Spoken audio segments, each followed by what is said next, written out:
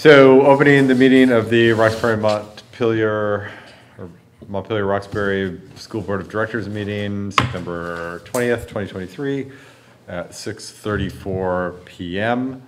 Uh, Our first order of business is um, public comment. We have no one in the room, so if anyone um, on uh, the screen wants to give public comment, so we have at least one member of the public, um, you can, well, since we have one member of the public, you could just come off mute and introduce yourself and give a comment. I'm Dana Hope, and I have a student at UES. Just lost you. Consider updating Yeah, we got you back. If you want, to sorry, if you want to start again, we, we lost you for about 10 seconds. Okay, it's Dana Hope, and I have a student at UES, and I'd like the board to consider moving quickly to update the policy to reenact so that uh, recess time can go back to what it was before the change. Great, thank you for weighing in, and um, um, I, I know that's, the policy committee has that before it, so we'll, I think we'll be looking at that at the next meeting, so, so thank you. Um, That uh, concludes public comment, I don't see anyone else um, from the public online, Uh, so next uh, order of business is the consent agenda.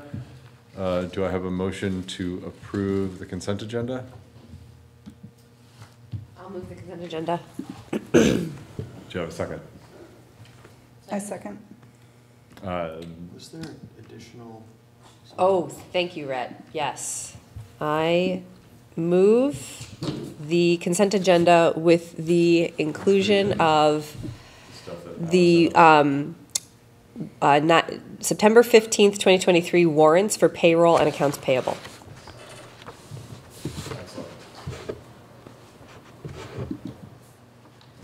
Great, do, okay, um, I second that. great. Any discussion? Mia? I had just a couple of questions, well, one question and one comment, Libby, on your um, superintendent report from this week. Um, You have a sentence in here, our professional learning communities are into their first cycle of units of instruction. Can you tell us what that means?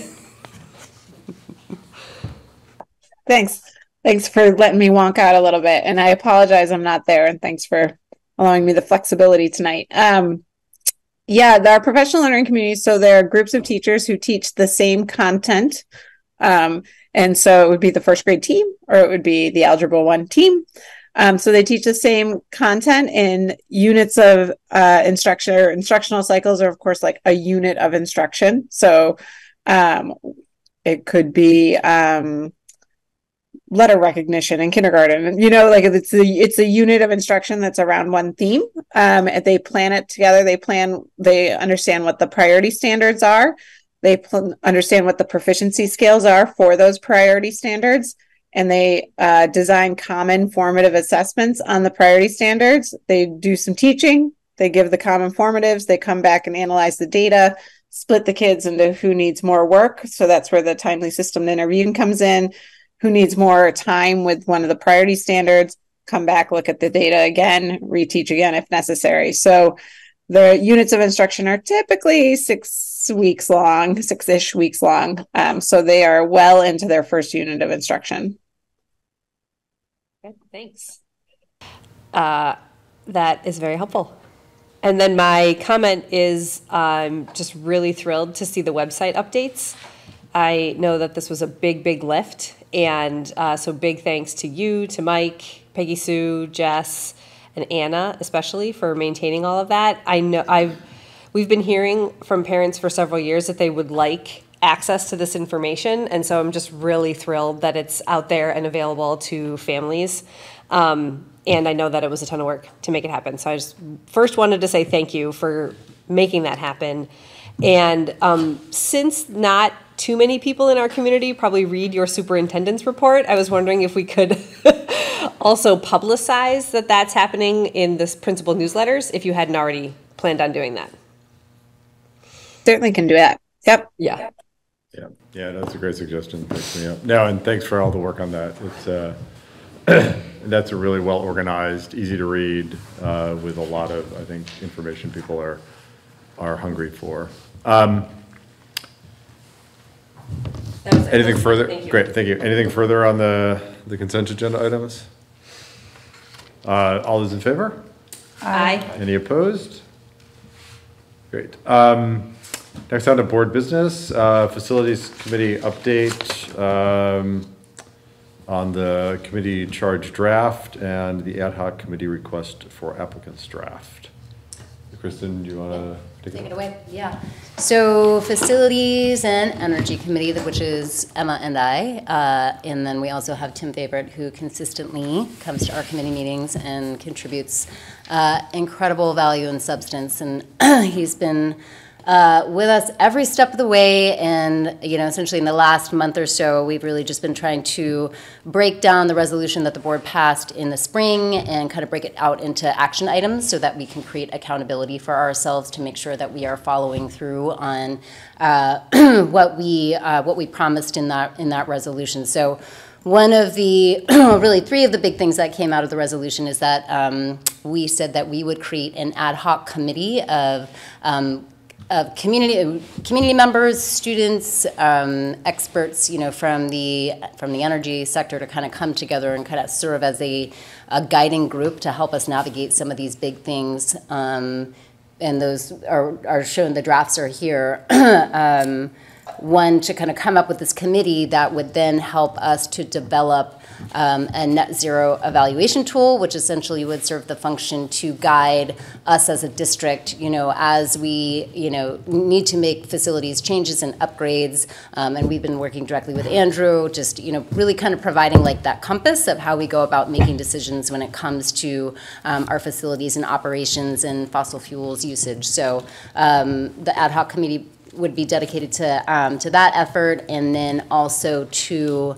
um, I'm blanking, the uh, net zero evaluation tool and Roadmap. Thank you. The decarbonization roadmap, yeah. Um, so essentially, that is really kind of getting into the nitty gritty of, um, you know, how would we go about actually arriving at net zero? Um, and I think we would also be looking to the ad hoc committee to advise us in terms of we do have this earmarked fifty thousand dollar part pot of money. Um, you know, there could be a role for us, you know, trying contracting with you know outside expertise um, to to help kind of get into some more of the technical aspects of, of getting to net zero. So we'd be looking for their support on that. Um, and tonight we just wanted to get these in front of you all. We weren't necessarily anticipating um, an approval um, tonight, but just an opportunity to get feedback from everybody and take that into Facilities and Energy Committee meeting that we have on Friday um, to incorporate the board's feedback. Um, and then ideally arrive at something that is um, a final draft and have before you at our next board meeting for, for approval. But if it's also just looking um, quite, you know, complete as is, we could, we could consider a vote tonight. So taking all comments and feedback.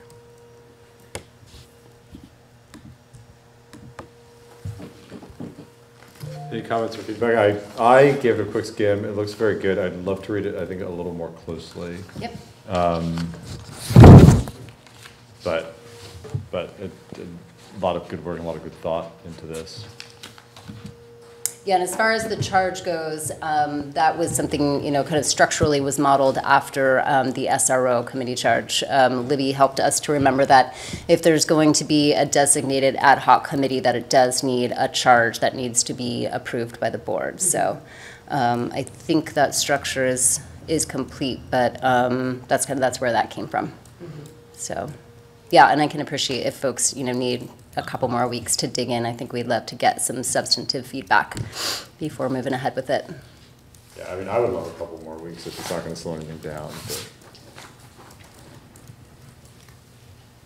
Or I would also say, if you have time in the next 48 hours and want to give us any feedback um, in advance of our meeting on Friday, that could be really helpful because then that could just be a, a focused working meeting for us. Yeah. It would be great, I think, to just email any feedback that you have, edits or revisions or additions to Kristen, Yes. and then we can discuss it. Yep. I don't have, I don't have any feedback. I had one question, which Yep. is, um, but I, I think I know the answer. answers. I just wanted to confirm it. The, there's nothing in the charge or the description of what the roadmap might look like or uh, uh, to, that speaks to budget decisions. So my guess is that maybe the roadmap does include budget decisions, but that obviously the board, it would, be- the roadmap would be like a recommendation to the board, and the board would need to adopt the roadmap, is how I was imagining the process Yeah. process would go. Yeah, yeah. There is, the tool would help um, Andrew make decisions about replacing equipment Uh-huh. and stuff like that. So that, so it wouldn't, it's not necessarily like budget approval for the school board. Right. At the school board level, Right. maybe, for the tool, but the tool would, that is another piece to it. Yep. That the tool is designed, will, in, in our imagination, it would be designed to help Andrew make decisions when he's like at a crossroads of, Mm-hmm. to replace equipment. Great. I have a question. Um, so at the high school, we have like a student club, like Earth Group, that's Yes. focused on sustainability. And I was wondering if there would be opportunities for maybe student representatives from that club to join this meeting or conversation, perhaps? Yeah, we would love that. Okay. And um, I would say that the Student Earth Group is very much part of like the origin story of the resolution and um, the board's uh, commitment to, um, to net zero. They came and presented to the school board in March of 2021, I believe. And they had made a direct request of the board um, to adopt a net zero policy. This is not a policy, it's a resolution, so slightly different. But, um, you know, I have met with them a couple times. They were also invited to um, all our, our work in kind of developing the resolution, to review it, to provide feedback.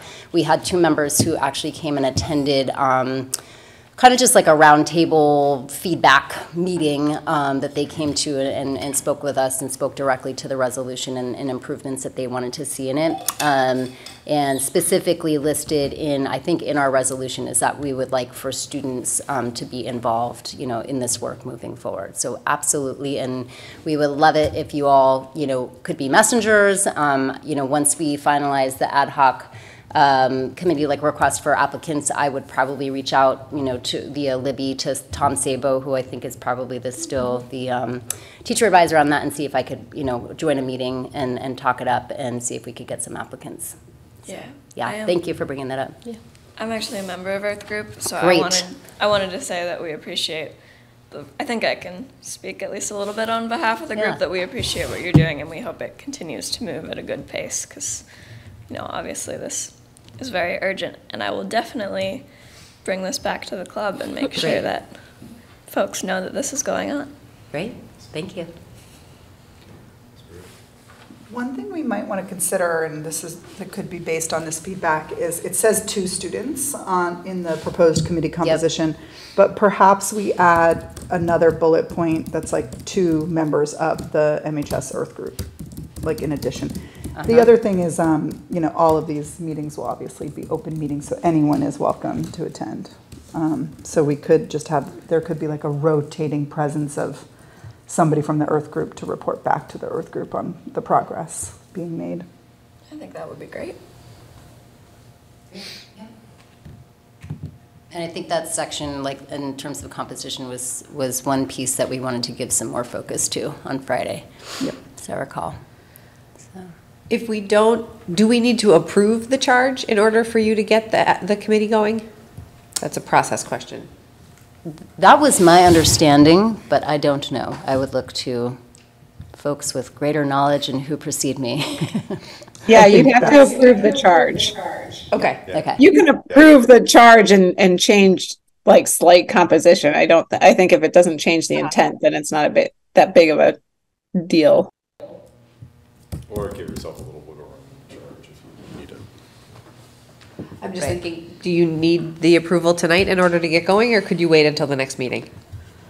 I personally don't have a ton of bandwidth in the next couple of weeks to like make anything major happen. Right. I mean, it's always good to get the word out, like the Yeah. sooner the better, just getting the word out into the community, but Yeah. I think we're okay. I, I agree, yeah. I think the intent would, though, would be to come back at our next meeting on the 4th and get, get approval on the charge and, and the um, ad hoc. Uh, and I think approval with probably some minor changes is going to, so if, if you can, you know, if there's like outreach you need to do with out making commitments, like you could probably start that. Okay. Okay, great. Awesome. I have a kind of embarrassingly basic question. Great. Um, Are, the- are the Montpelier schools owned by the city, the school buildings? No. Um, So is the city of Montpelier, um, do they have any role in energy transitions for those buildings? Or do they sort of cede it to the Montpelier School Board? Uh, the UES is, well, Andrew might be able to answer it better than, than us. Yeah. Uh, UES is on district heat, but otherwise I think we're our own master. We have a contract with them for, it was a twenty-year contract, but we're about year ten, but we are our standalone. None, none of their decisions, you know, have any impact on what we do. Like, We have to make our own decisions. Yeah. Okay. The city had, um, what was it called, a process by which they hired a consultant to do the, um, their net zero sort of Yeah, planning. right. Um, and so this, our, uh, resolution is aligned with the goals of the city. So we sort of use that as, uh, you know, it was a helpful starting point. The city's net, net zero goals. I forget what the plan is called. Do you remember, Kristen? I think it was Net Zero Action Plan. Yeah. Um, But I think in um, one of those documents, there's a a kind of a rehashing of the history, sort of of how we arrived into this place. You know, one, one uh, of those factors is working with the city, you know, the Montpelier Energy Advisory Committee, who um, Tim Favorite, who's been working with us, serves on that committee.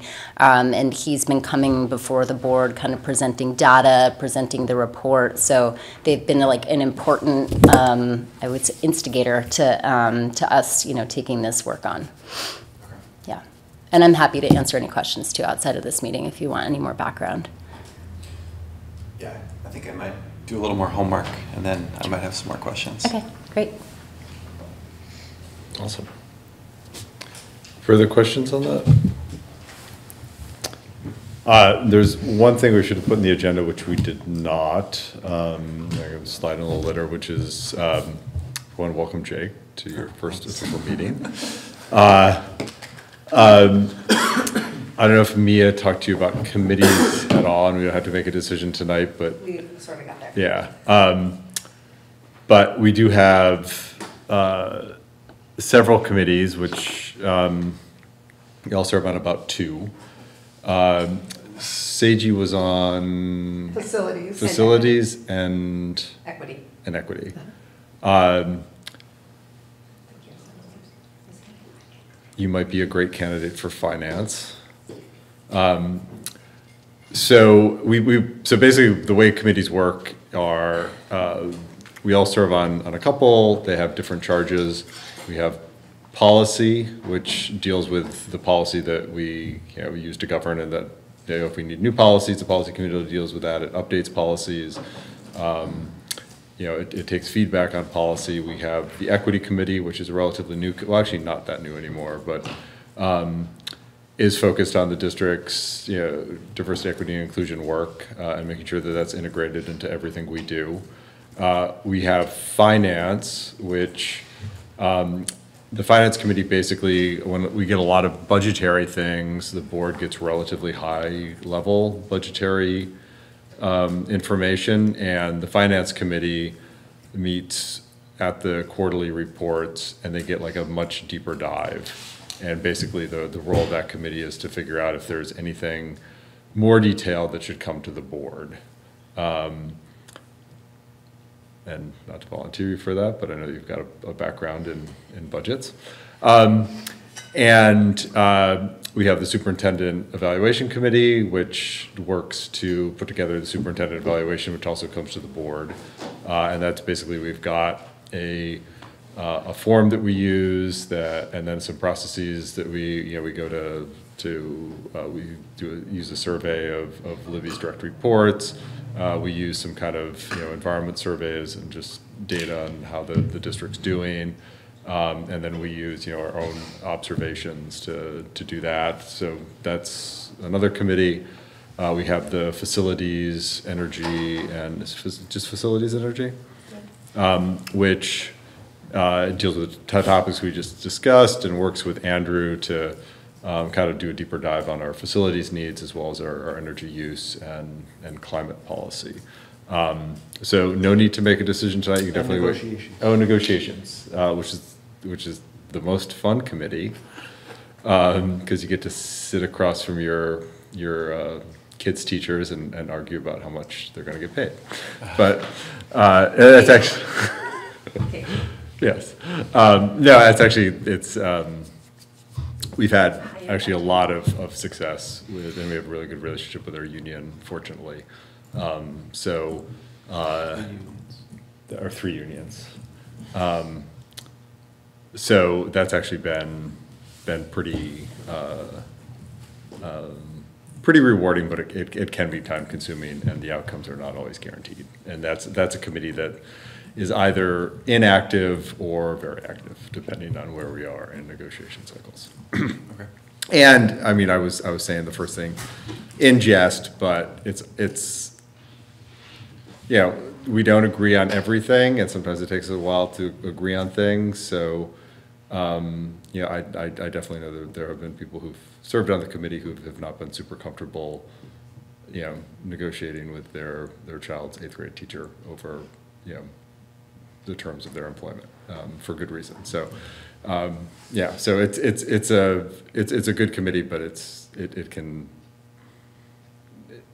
it's, it- yeah, it, it can get contentious at times. Um, usually it isn't, but, yeah. And there, with the Be mindful of that. negotiations, the time commitment is sort can- of very concentrated during a Yes. certain time, and then it like goes down to no meetings at all. And other committees meet, you know, every other week, Yeah. and other committees once a meet month, monthly, or- or, yeah. you know, Yeah, so yeah. it's sort of like each committee has a, a different time commitment. I feel like we came up with a document, we had a document that sort of like outlined, or did we just talk about creating a document? I think we talked about creating a document and didn't do it. Okay. Um, I think there is a description of all the committees on the website. Yes. Yes. Yes, so you can go to the But not down website. to the time. Yeah. Right. Um, and, and go through that and, and there's, there's like a paragraph or two and, and then you can look at some of the minutes if you want to get a feel for it. You can get a sense of time commitment looking at the agendas, Yeah, though, about how regular Yeah, each most committee are, meets. most are relatively regular, as you know, Emma said, um, I think committees do a good job of keeping to the allotted hour, hour and a half that's slated for most meetings. Uh, yeah, negotiations can be different. It can be, uh, potentially very, you know, very intense. Um, you know, some of the meetings are, you know, oftentimes two or three hours. I once experienced a, a nine-hour negotiation, mediated negotiation, so it's a little, it's a little less predictable, but, you know, in a year like now, when we're not negotiating contracts, it's, it's completely. When is the next inactive. round of negotiations? We're negotiating one contract this year. Oh, yeah, we already negotiating one contract. We're contract, negotiating with Apps Ministry. yeah. And when does Um, that start? I think it starts soon, doesn't it? It should start very soon, yeah. Yeah. Yeah. Um, I forgot to mention, you know, we haven't had a time, a chance to really meet in depth, with- but um, Zach and Merrick did not serve official, in an official capacity on any of the committees. And mainly because it's a big ask of students who have so much homework to do. Yes, Um, and the, the meetings are oftentimes during the school day. Yeah, but you are always welcome to, you know, if there is one committee that you're like super enthusiastic about, you can just sort of be an honorary member of that committee and attend when you are able to. And all the meetings are open and posted publicly, so you're welcome to hop into any meeting that you want to anytime. Well, and what we, sorry, Mayor. what we did do with, with Zach and Merrick is there are a couple times the committees would, would ask, yeah, it was, it was something where it was really, we felt it was extra important to get student input, so we, you know, asked them to participate in a few meetings, uh, and then try to schedule at times that worked for them. I think that would be great to Yeah. continue with that, because I don't think I can commit to Yeah. a committee this year. And we can talk more about that too. I mean, one thing that was that Zach and Merrick, one of their goals for their tenure on the board was to improve a specific policy that they had heard a lot about from students. So they were fairly active on the policy committee, but not like super regular attendees, but they were working on a policy. So, something like that. Ask what policy it was? It was the diversity, equity, and inclusion policy, and it was around curriculum. Okay. So there was, um, and I can fill you in more, in more detail on what they, and give you dra- handover drafts of Mhm. stuff that they worked on. Yeah. Jim, did you bring this up because we have an agenda item to add from the superintendent evaluation committee? We could, we could do that too. We, well, we do. I we just, do. for- I Oh, forgot to mention it at the beginning of the meeting. Okay. I emailed it, but forgot to mention it. Okay. And add an, ad- And I an about it item as well. to board business, which is to launch the, the evaluation of the superintendent by showing everyone the newly updated evaluation. Okay, excellent. We don't have to do it right now, but sometime under this heading of board business. Uh, let's- We might as well do it right now. Well, I think if we do facilities Oh, let's report, do- then okay, just Andrew can go facilities home. report, yeah. Yeah. Sorry, Andrew. Um, Okay, let's do that, and then we can add superintendent. um, Yeah, so maybe next meeting, you'll give it some thought, and we can, because I think it'd be good to have some of the other members here, so we can, if there's some switching that, that we can do, we can do that then. I'll just put in a good word that facilities could use extra help. Yes. Because, because Seiji was on that committee and there's only the two of us right now. So that would be great if you were interested in joining that. Yeah. Andrew? Thank you for being patient. Um, yeah, I'll make it quick. Um, So, uh, Anna sent you, or I, I believe Anna sent you the updated report, um, the other day. And, um, what I will do is I'll just go over the, some of the highlights and give you folks a chance to read and go through it. One of the things that, um, Anna and I had talked about, um, and one of the things Anna and I talked about was um, getting some pictures for the website and things of that nature, because some of the stuff is, on the face of it's pretty dry, but uh, when you actually see a picture of it, it can, it, uh, brings it to life. So uh, let me just, let me give you a, let's start with a quick update of where we are with regards to the, specifically to the flood stuff, before I go back too, too far to the year. Uh, But we are uh, in the process, all the boilers will be up and running. Um, Two of the three boilers will be all up and running and functioning uh, as intended by the end of next week. The third one, we are waiting, still waiting for some parts, some insulation blankets and things like that, and that's not gonna happen. That, that's not gonna get here for another couple months. Uh, But the school only needs two to operate, so I'm not concerned that it's not going to, uh, we're not gonna be able to make enough heat. We certainly will. Uh, If anyone's been by the high school recently, the uh, lawns are coming in uh, quite well this last week. They've really turned, you know, they really, they look, they look green again. Um, We are meeting with FEMA next week to go over what they have to offer us with regards to outside um, repairs, so that, that's in process.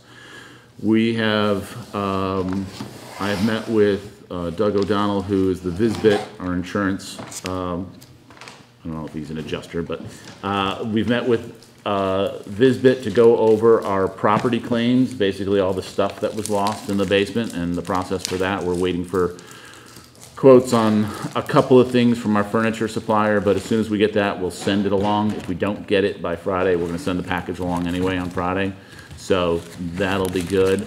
Um, I know we've already put in a big, um, a big claim for some books, and they've already approved that, so that's, that's moving forward. So that's in good shape.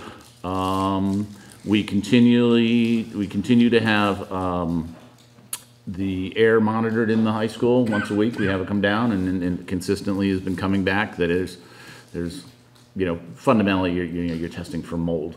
And there's more outside the building than there is inside the building. So that's good, and it's only gonna get better with regard, when, uh, we really start turning the heat on in a couple weeks. Um, so we're, we're pretty good shape. Uh, A couple, like I said, a couple things we gotta follow up on, uh, really is, is getting the paving sorted out. We've got stay mat in there, so we're not, I'm not too concerned about it, but, um, it's really a matter of coordination with the contractor when they've got a bigger project going on, um, that we can sneak it in. Um, but that's, we're, we're, we're heading back. The, the next big piece that we'll have to do is, we are technically, the school is technically, if you look at a floodplain map of Montpelier, the high school is this little island that sits in the floodplain because it's elevated up a little bit. Um, so by code, we do not technically have to move our electrical closet out of the basement, with the entrance out of the basement, whereas other, anybody else that is, does by, by code in, in Montpelier and Barre. Um, We've met with the electrical contractor and we've got a really, luckily where we would put it is right above where it is now, so it may, whether we need to move it out of the basement or not, it technically might be easier to build it and then connect it versus trying to rebuild it in a spot where it already is, so, uh, parts and pieces for that are months out anyway, so we got a little time to, to chew on that one and, and figure it out. Um, but otherwise, uh, we are in good shape. I'm meeting with, prior to the, prior to the flood, we actually had a, a, a plastic membrane underneath the gym and the auditorium, or the, the stage. And we had done that, Tom had, had, uh, put that in many years ago, just because with the wood floors there, it was an extra layer of protection with regards to moisture. So we're actually meeting with a contractor on Friday to go poke around the basement and, and, uh, look at getting that reinstalled again. Uh, whether we do the entire basement or not, that's still, uh, to be determined. Um, adding another layer of something is never a good idea in my mind, but, um, so other than that, it's, it's, it's moving along. Um, any questions that anybody has on any of that stuff? Just the flood stuff? Yeah, just, I think you answered it. I was gonna ask if it made sense to move the electric stuff in any of our other buildings in Montpelier up a level, but probably not. now, uh, electrical stuff is really expensive to move, It's shockingly expensive. Um, and there's plenty of, yeah, no, the water would have to get awfully high to Yeah. affect Union and, and Main Street. Okay. There's nothing there. I have a question. What's that? I have a question. Yeah. Um, how, do you know how close the water in the basement came to the panel? Oh, it, oh, it, it. It covered it, panel. yeah. Oh, it did? Yeah.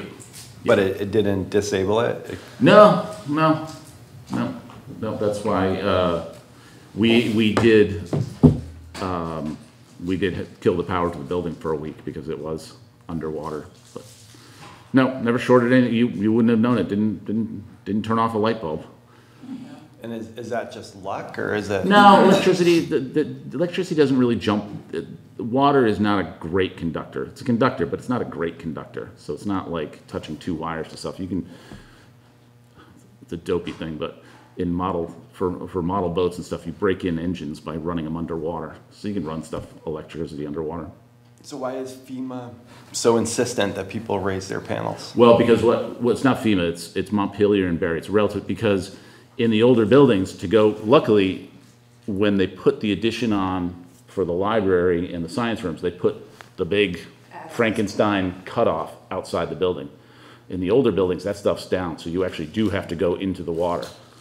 Not saying it's a, I'm not saying it's a bad conductor, it's, I, I wouldn't wanna stand in two feet of water and have to turn, pull a big lever to, to kill the power to the building. So in these old buildings, they were, um, most of those are still down in the basements and they're still in the water. But like I say, the high school, it's actually on the outside of the building. Okay. So, that, and that came about because like I say, in the addition, when they did it to the science and library edition, that they put it on the outside. So somebody knew the flood was coming and No, no, we, No. no, it, would- no, we had to go out there and do it ourselves. After. Afterwards, Oh, okay. afterwards. But, yeah, it's, like I say, it's, you can run electricity underwater, but I wouldn't want to stand next to it underwater. It's still dangerous, but, um, so we'll, we'll, we'll have to work out the logistics on that one and, and see what makes sense. Um, Yes. Kristen? Yeah, I had a question about um, meeting with FEMA. So what might be in FEMA's purview and possibly be eligible for, and I assume Uh, it's it's- funding for, For, for primarily for exterior work, for, for the, for the replanting of the grass out front, the parking lot, it's stuff outside the building. Uh-huh. It's stuff outside the building. Uh-huh. Um, insurance really isn't gonna cover much outside the building. okay, They have it very specific that if you have damage on your site, um, they, in the beginning, they were a little bit encouraging, like, oh, maybe we have something, and then by the time they got done with it, they were looking, pulling out clauses saying, no, damage due to flooding isn't covered. uh-huh, So, mm, again, we're fortunate that, I don't want to say there wasn't much, but it was manageable, and so FEMA, we'll see what they do. We'll see what they do, and I, I don't, I know the city, or I understand the city is, like FEMA covered Irene, the baseball fields for Irene, the, the Dog River fields, but I don't think they're covering them this time around. Mm.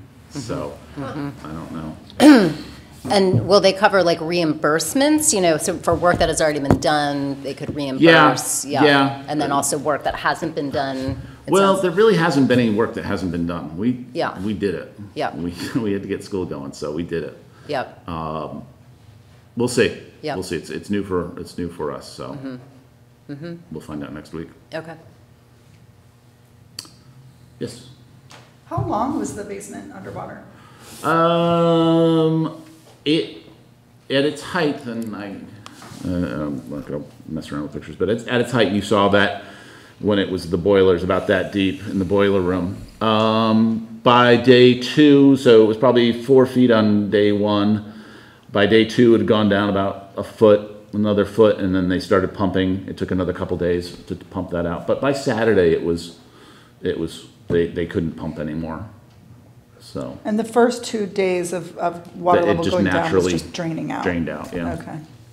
And what is the word on the softball field, like Softball field, when we talked with Chip, our, at Diamond Tech, the, the consultant who helps us and the Mountaineers in U thirty-two, um, he said that the, the field itself got washed away, the clay got washed away, but he said that's a field that you can build it and use it right away. So, like the baseball field, those infields, um, now this is, in in thinking about it, it's, it was the rush of the moment, but, um, if we did a clay, you know, you can, you can install it and play on it the next day.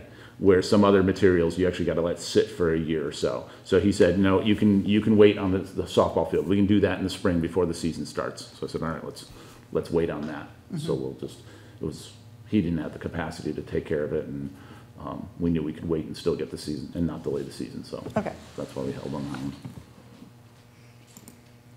Um, I was wondering if you could go over, I'm not sure if this is somewhere in the documents, but if you could go over how the athletic fields are affected right now and if there are any teams that aren't able to play on their fields. No, uh, we were very fortunate in that the, so what, if you think of the site and the bridge, when the bridge uh, was overflowed, and it, kind of the river and the building, in the corner of the building by the, um, the old mud lot and uh, the backside of the auditorium, the water was moving pretty good there. That's why the softball field got washed out, because the water was moving pretty quick. This is my take on it. By the time it opened up again towards this, the, the um, field hockey field and the baseball, it wasn't moving nearly as fast. It was deep, but it wasn't moving fast. So the baseball field didn't lose any soil. Now, it's a different type of soil, but the, the, the covers on the mound and the batting uh, area, they didn't even move.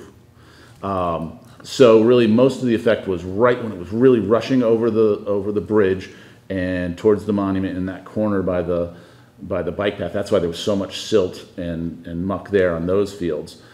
But by the time it got to the, the, the main game field, it really, it moved a little bit of the track around, but we were able to repair that. So the, the game fields and, and, and Tom Allen and his crew and Chip Stevens, it was get out there, aerate it, aerate it, aerate it. So they went out and they punched holes in it every other day for about two weeks and it made all the difference in the world. Because you could, you could have seen after the flood that like there were grass, there was lawns, it was like, oh, it looks okay, it's still green, and then two weeks later, it was all dead. Because all that silt just suffocated the roots. And by those guys just going out there and aerating and aerating and aerating, made all the difference in the world. So, the- so the game field's in fine shape, it's in great shape. The uh, field hockey field's in good shape, is great, is as good a shape as it ever was. Um, the baseball field, again, the baseball field, we, Chip will come back in the spring and he will clean it up for the baseball season. He'll get the weeds out of it and all that, but unfortunately, we rebuilt the baseball field last year because it had a lot of organic material, so weeds grew in it and just looked terrible, and it was a pain in the neck to try to keep looking, looking good and playable. So actually, a year ago, we had that all, we had four inches of it dug out and new material. That's all new, now filled with silt and organic material, and you saw it just turned to grass um, soon after flood. So he'll get it in playable condition for the spring, and then next summer, we're gonna have to dig that out. Have to. We're gonna want to, because it's just gonna be, it's gonna look crummy if we don't. It's just gonna be full of weeds all the time. Um, the practice field over by, kind of between the, the baseball field and the softball field was okay, a few washouts, a few sinkholes, but we've got that together, so that's been usable as a, as a, as a, as a, as intended, the practice field. The mud lot actually is probably going to, um, the mud lot field, which we kind of used as a practice field, we basically added a little topsoil and some grass seed a couple years ago. That actually is probably going to be much better than it was before because it's all been rototilled, all, it's actually got some more organic material. So this is where the organic material was actually a good thing. And, and on the other side, the other, the main practice field, same sort of condition that they went through, they rototilled it all. They actually, you can go out there and there's a marker where Chip has his grading equipment, he sets a mark. And with lasers and magic and all that, his machine goes up and down and makes sure that's totally flat. So I think those two fields actually, as long as we stay off them, we're probably not gonna be able to use those for another year. We really should give them another year to really grow. But once they get back, they're gonna be better than they were before. Um, middle school, now we've, so we have a little bit of the, the, the practice field that, like half of it that people can practice a little bit, they can't fold. So the middle school is practicing up at, middle school soccer is practicing up at the college. And we actually chipped in, they've got a, Onion River Soccer has an agreement with the college to use that field. And so we actually had an agreement with Onion River Soccer to do that. And because we knew we were gonna do, use it so much, um, we actually, I don't know if I donated, but we contributed to, um, maintenance on that field, knowing that it was really gonna get, uh, used a lot. So, um, Chip went up there and he did some work for Onion River and we said, yeah, we'll, we'll, because we're not gonna, the Dog River fields that we traditionally use for soccer, those, I don't know when those are gonna get back. Um, So, so the sports act, we were, we were fortunate, we were fortunate that, that we've been able to accommodate everything. Great, Yeah. thank you. Yeah. Um, so that's kind of where we are at that piece.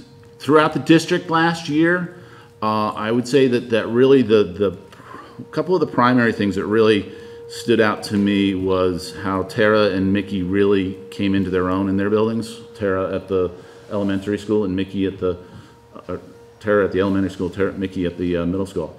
You know, they've got a year under their belt with those buildings and they know them now and um, they're very comfortable with them and staffing and, and organization and uh, making the buildings really work. Um, they've, they've really stepped up and that was one of the great things that with the flood that was when the, when we lost the high school, you know, we, we had to move and we had construction at the elementary school. Mickey picked up the slack. We moved meetings, we moved part two over there, we moved people over there to have that, and Mickey just picked up, did it. You know, was, was, was able to accommodate that. Tara, with all the construction that was happening at Union, she was able to deal with that, and it really allowed Tom to just do what he needed to do at the high school, and, and that was a great relief to, um, to the effort, and, and if without those guys in those schools, we'd be in much different shape. Um, so that, that's, they're doing exactly and they're working out exactly as, as Tom had intended and had visioned for those, those folks taking over those schools. Um, with regards to sort of the, the bigger projects that we've taken on, um, we've started the ESSER three projects. Uh, the little gym at Union will be turned over to the, the, uh, the school on, we lost a little bit of time with regards to the flood. Uh, people just lives needing to take care of their own thing, um, just slowed everybody down. But the, the little gym at Union, um, is gonna be turned over to the school on Monday, and we'll have pictures. It looks great. We took, we took forty thousand dollars worth of asbestos out of that room, gutted it right down to the concrete and, uh, and structure. I got pictures that I'll, that will be, um, I think they're in the report, but we'll also put them on the website. Um, our asbestos contractor did an amazing amount of work over there over the course of two weeks, three weeks. Um, but new rubber sports floor or cushioned sports floor, basketball hoops, lighting, looks great. Um, the auditorium, oh, spelled respectfully, respectfully along incorrectly. Um, the um, auditorium at the elementary school, again, we had that abated. They were taking off literally half-inch slabs of asbestos that was underneath the tiles. It was used as like a leveler. So they were in there on their hands and knees for weeks in, uh, in late June. Uh, so that's all been abated out of there. The room is just about completed painting wise. We're putting seats back in, uh, carpet will go down, and, uh, those who have seen photographs of it, it looks amazing. It's beautiful. It really is as beautiful as we expected it to be. So I haven't, there's not, I haven't shared too many pictures because we're just a couple weeks away from really being able to, to show it off. One of the important things, again, a little thing, but important, is uh, we probably have invested twenty thousand dollars in hardware, door hardware at Union between the auditorium and the little gym. Anybody remembers in there, basically, it was a D pull on the outside and a push on the inside and a little thumb turn. So you couldn't lock the door, or if you locked the door, you couldn't get out.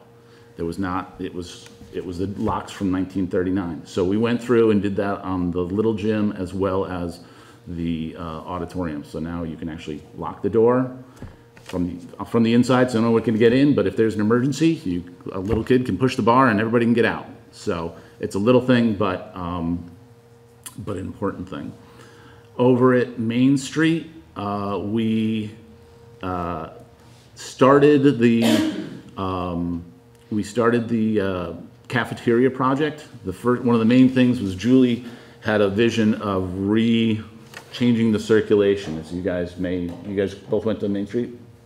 So instead of going down the ramp now, you actually come in and there's a set of stairs that drops you straight into the cafeteria. Awesome. there you go. So, and uh, so now people can come in, they can, and we flip the serving line, so people can come in, get their food, go sit down, and then come back out. And actually, we created a hallway that allows them, to so now we have basically one, one-way traffic instead of two-way traffic. And it's really changed the dynamic of the room, and, and Julie was spot on when she had that in her mind. Um, So that was done this year. Um, Next year, we will tackle the kitchen and the finishes in the cafeteria. Uh, We also will start on the, uh, uh, the playground out there. I'll be honest, the cost of things, you know, we were asked to put numbers to these things back in, could have been 2020, maybe 21. Uh, So the scope of probably the playground at the middle school is probably not going to be nearly as large as it was, but I think the improvements that we will make will make a big difference. So that, that first money spent will make a big difference over there. At the middle school, we also created a, we took the old wood shop and we created a guidance suite down there. So now what was the wood shop now has two private offices and a common area for, for the guidance, uh, the folks' guidance, making a big difference over there. Um, The other, the other future ESSER project is the special ed suite over at Union, and we're still, you know, thinking about what that wants to be. All these projects have to be wrapped up by September of uh, next, next year, so um, once we figure out the finances of this summer, get a better handle on that, we'll know how much we have left to spend and uh, make the adjustments that way. Um, With regards to, and down here, uh, we, it sounds like a small thing, but it took over a year for playground equipment. Play- Playground equipment is still the longest lead item in the economy because everybody with all this ESSER money said, let's get kids outside and let's build our playgrounds. And so it literally took us a year to get a new set of swing sets out here and installed at Roxbury. But we now have uh, accessible swings over here. One's for sort of a older kid that, you know, kind of straps, straps them in and allows them to, to be safe. And then a smaller, I'll call it a bucket one for a little kid um, that we've had installed out here. And finally, we are able to get the wood chips underneath it and all that. So, um, so that's a good improvement down here. With regards to next year, um, really the, the big project that I see with regards to just our continuing improvement, uh, we're gonna do some work at the exterior of Union Elementary. At the top of the wall, uh, the parapet, there's decorative limestone. And the caulking up there has failed. And you can actually, if you go by Union, you can see it's efflorescent. You know, salts are coming out of the brick because moisture is getting behind. So, and we actually had a couple pieces of stone fall this spring. The water got behind, freeze thaw, cracked it, dropped. We weren't sure what it was. We a, a- student reported it to, uh, to, I don't know if it was Katie or, or Tara, but said, hey, something fell. And we're like, okay. So we did have Alpine Restorations who, who specializes in historic masonry. They actually had a lift over at Middlebury College, luckily. So they came over with a lift and tapped on everything and shook everything and made sure everything that was up there was solid. Um, what we will do this spring or this fall before the winter hits, we are going to put up some safety barricades along the, just the front portion of the building where that, that fancier dental work is. So that, um, through the winter, if there is anything that freezes and, and breaks, it, it's out of the way of the kids. And, but we do need to, um, we do need to have all the old caulk, which of course has asbestos in it. Uh, we have to have that abated and then have, um, uh, a masonry contractor come back through and recaulk all of that, basically the top of the building. But it'll be, and then there's an option to do a, a secondary, I don't think it's actually lead, but basically a, a protective tee that they put into the caulk that protects it from the sunlight, that basically makes the caulk job gonna last hundred years kind of thing. It's an extra fifteen, eighteen thousand dollars to do that, but again, it's gonna double or triple the life of the caulk.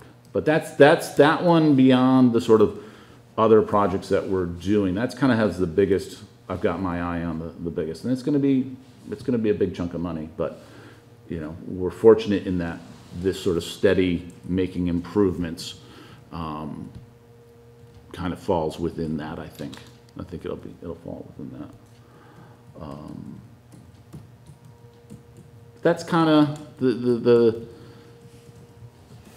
you know, um, I'm not gonna bore you guys, uh, but I'll go through. You know, we, we also, uh, spent, as always, more cameras, better quality cameras at all the schools. Um, at the middle school, one of the things that we did, which was really nice, and it was ESSER money, was, if anybody remembers the middle school, we had the, the rack that had all the, the, the server for the, the, the cameras was sitting right in the lobby, and you bang your head. We moved that to the basement.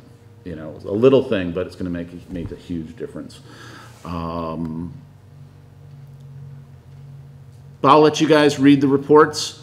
Read the report. If you have any questions, if there's anything that you'd like to see more information, less information on, um, let me know and we'll get it in there. And like I say, uh, Anna and I have already talked about the idea of, of getting some more photos. And, and like I say, I think the auditorium and all that, you guys will be blown away by.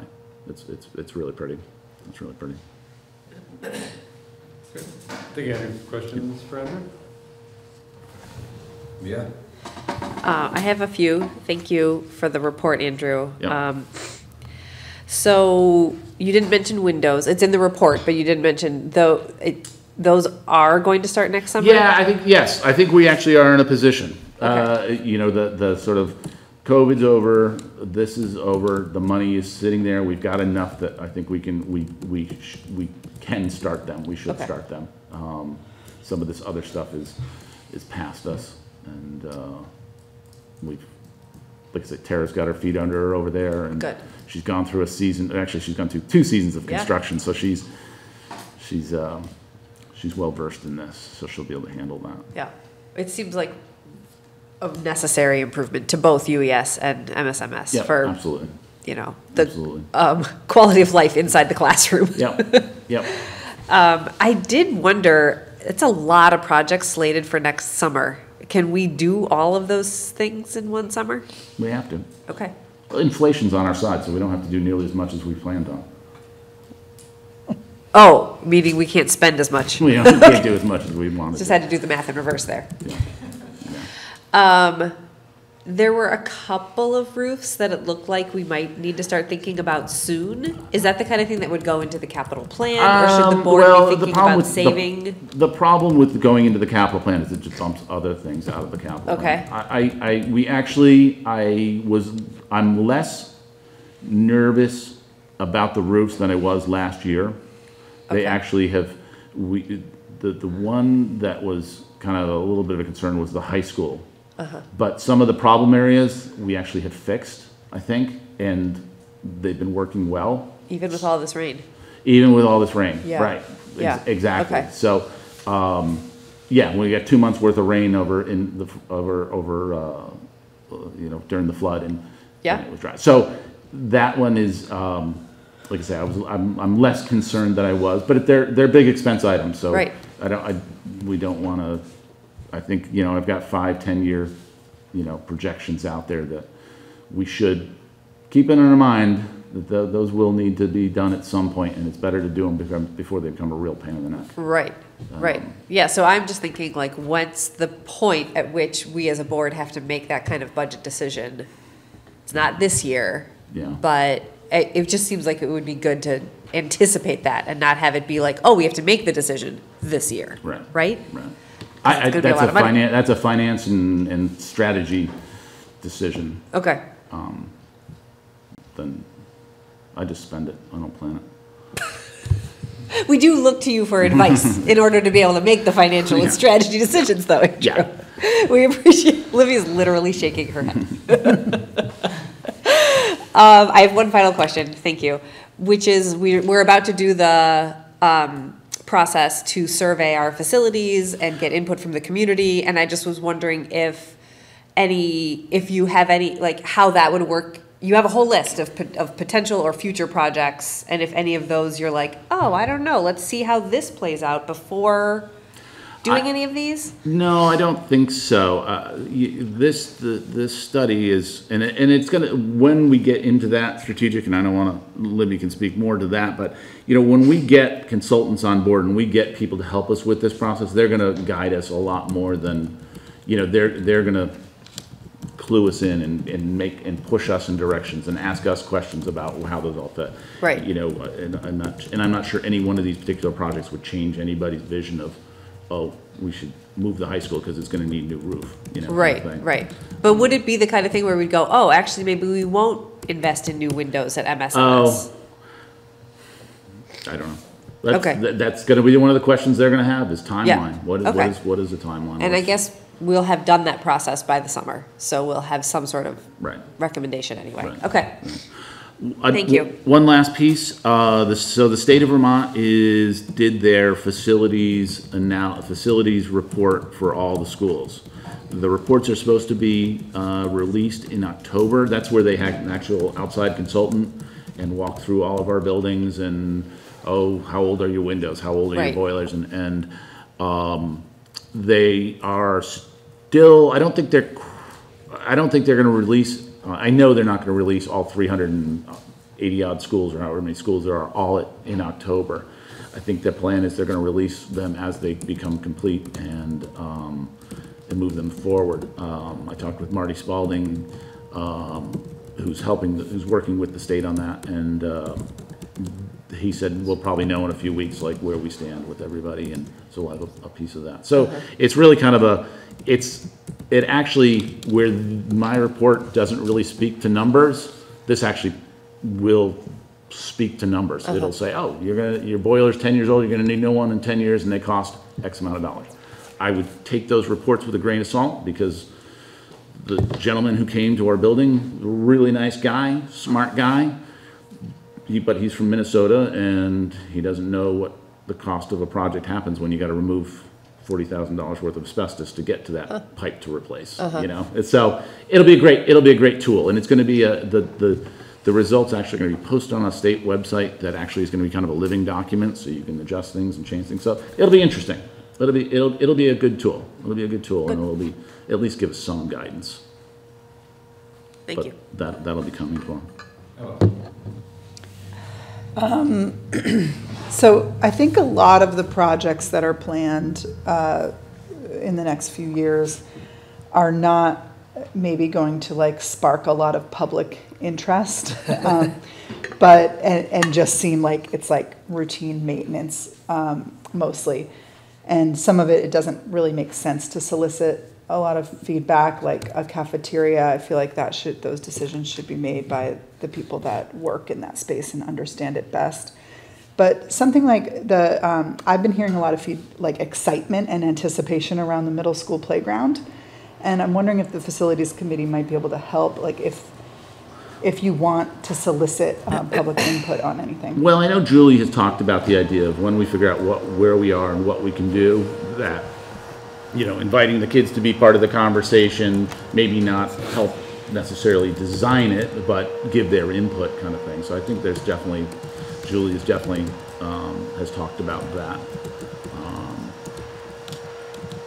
But no, absolutely, and, and the, the building and facilities group, uh, I think we will get to where we've been sort of between net zero and floods and things like that. I think once we get past that hurdle, that'll be great to, that's exactly the intent of that, of, hey, this is what we've got, what do you guys think, and, you know, given our options and what's ahead of us, what do we think we prioritize, and that kind of thing. Um, So I think that's a good, we're, we're almost there. Do you have a rough idea of what the budget is for that particular project, or has it? Which one?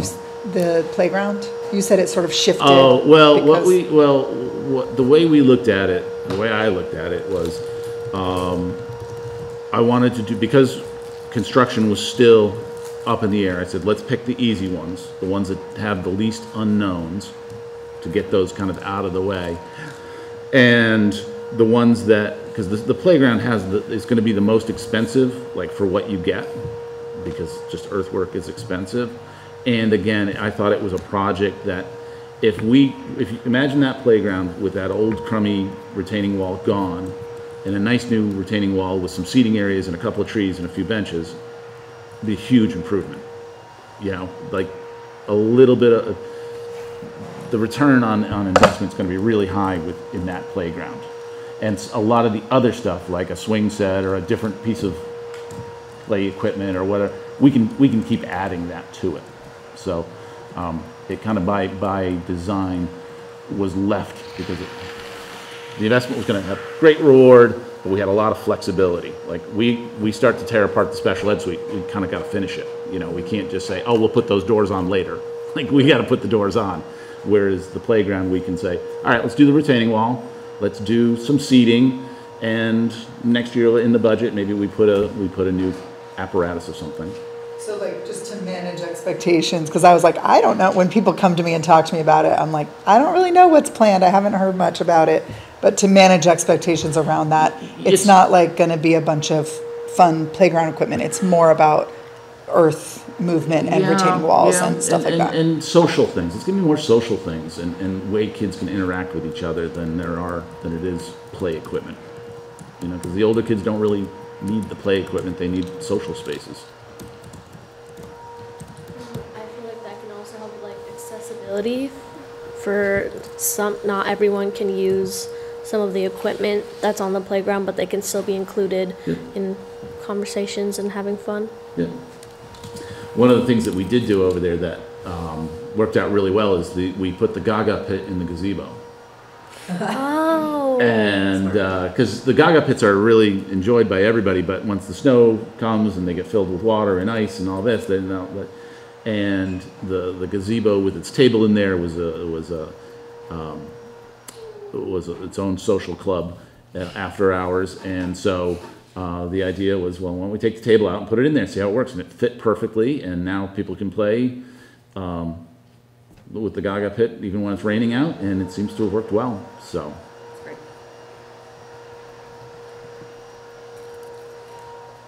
Okay. Um, we had two more questions. Yeah. First one, maybe for the board. Um, I was wondering, just for context, I know there's been discussion about the location of the high school, about moving it, about a potential merger, and I was just wondering if that's informing the decisions that we're making about maintenance at the high school or any new projects, or if we're just going ahead with anything at the high school. I'm gonna, I, I'm, Libby can jump in and stop me when she, when she wants. The middle school, this is me talking, the middle school suffered for a long time because there was a lot of what ifs and maybe we shoulds and all that. And anybody that's been through the middle school, you guys went through the middle school. Um, if you, what, what grade are you guys in? Tenth. Say that? Tenth. Ten. Twelve. 12. If you guys, have you guys been in the middle school lately? Go to the middle school. I have. I go there for mentoring. How does it look compared to what it used to look like? It's quite a bit better, yeah. Say that again? I think it's quite a bit better. It's quite a bit better. And that's exactly so. So for me, and Libby can stop me and you guys can stop me, the idea of, well, we might do something in the future, so let's not. Like, if you do that, 20 years, the school just goes, you let things go, and then people really go, well, why are we fixing this up? It's junk. You know, for that, that, that school suffered for so long for people saying, ah, it's terrible, it's junk, why are we investing any money? And all we did was got the mechanical systems working, got the floors clean, you know, boxed in pipes that were half boxed in, and now you go over there and go, wow, you know, save the windows. You go over there and go, wow, this is a nice place. and It looks great. So that's me. That's me. I don't think waiting for Yeah. future decisions. Yeah, I can, I answer that. I think one of the reasons we want to uh, move forward with the process that we started is because I, one of the things that I'm at least concerned about is that with the flooding, we're going to get this constant, well, it's in a floodplain, why are you investing in that school? And I think we need to answer that question, and if, if we want to keep the location of the high school, I think we should make a decision to do that in a reasonable period of time with community input, with all the facts, and say, yes, like, we're in a floodplain, but we're going to continue to invest in the school. This is going to be where our high school is going to be, at least for this foreseeable future. And we're going to do it in a way to make those investments as flood resilient as possible. And if we come up with a different answer, we come up with a different answer. But I, I think it's unhealthy, as, as Andrew said, to kind of have these, these conversations just in the ether of like, well, hypothetically, we might merge with U thirty-two, so why are we, we spending money on anything? Or hypothetically, we might build a new high school. I, you know, yes, at some point, but I think we have some immediate questions like, you know, is, is a merger realistic? Is it realistic in a time frame that should affect our decisions? Is moving the high school realistic? Is it realistic in a time frame that it's going to affect our decisions? And if the answer to those questions are no, then we have to continue to make sure we have a high school that is being updated and meeting the needs of students. Well, and even if the answer is yes, but it's gonna take twenty years. Then, yeah, then, Or yeah, even 10 exactly, years. then we have to invest in, in that way, so. um, And Mia had made the point about, so last, at the, at our last meeting, we approved the request for, pro- for proposals to go out with a, a firm, an architectural firm, to survey all of our facilities and then make recommendations, like present the board at, a- in around May with some, with a series of recommendations of how to move forward with the facilities. So if one of those recommendations really resonated with the board and, and included closing the high school, it would be with enough notice in May to not move forward with some of these more expensive capital improvement projects for the high school. So I think it's like a, let's wait and see what that come, that report comes back with, and then discuss our options in May. And then if we need to pivot and make changes around improvements, we can do it at that time, you know, or with that in mind. But I think it's more likely what Mia also just said, is that even if there is sort of a option on the table that looks appealing, it's not gonna be happening in the next few years. But Yeah, it- even if it's like, you know, like a five-year time frame of we're gonna build a high school, but it's gonna take like a year to find land, and then like a year to map it out, and then two or three years for construction. We would, I think, continue to invest in the current high school in a way to keep it up, but there might be some things that we, like, you know, if if the, you know, if it's one of those things where, can we stretch the roof for a little longer?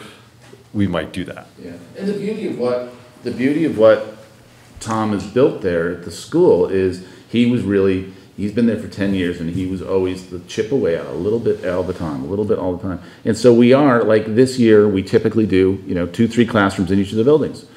This year, knowing how much we had going on at the other schools, we said, well, let's just do one, let's just do the classroom one oh one at the high school, just because that's where the public after-hour meetings can happen. So, Like, you're always moving forward. So if you slow down a little bit, it's okay, you know, if you put your effort somewhere, but you're always moving forward a little bit, because if you stop moving forward, then you're like, then you really gotta spend a lot of money to make it nice.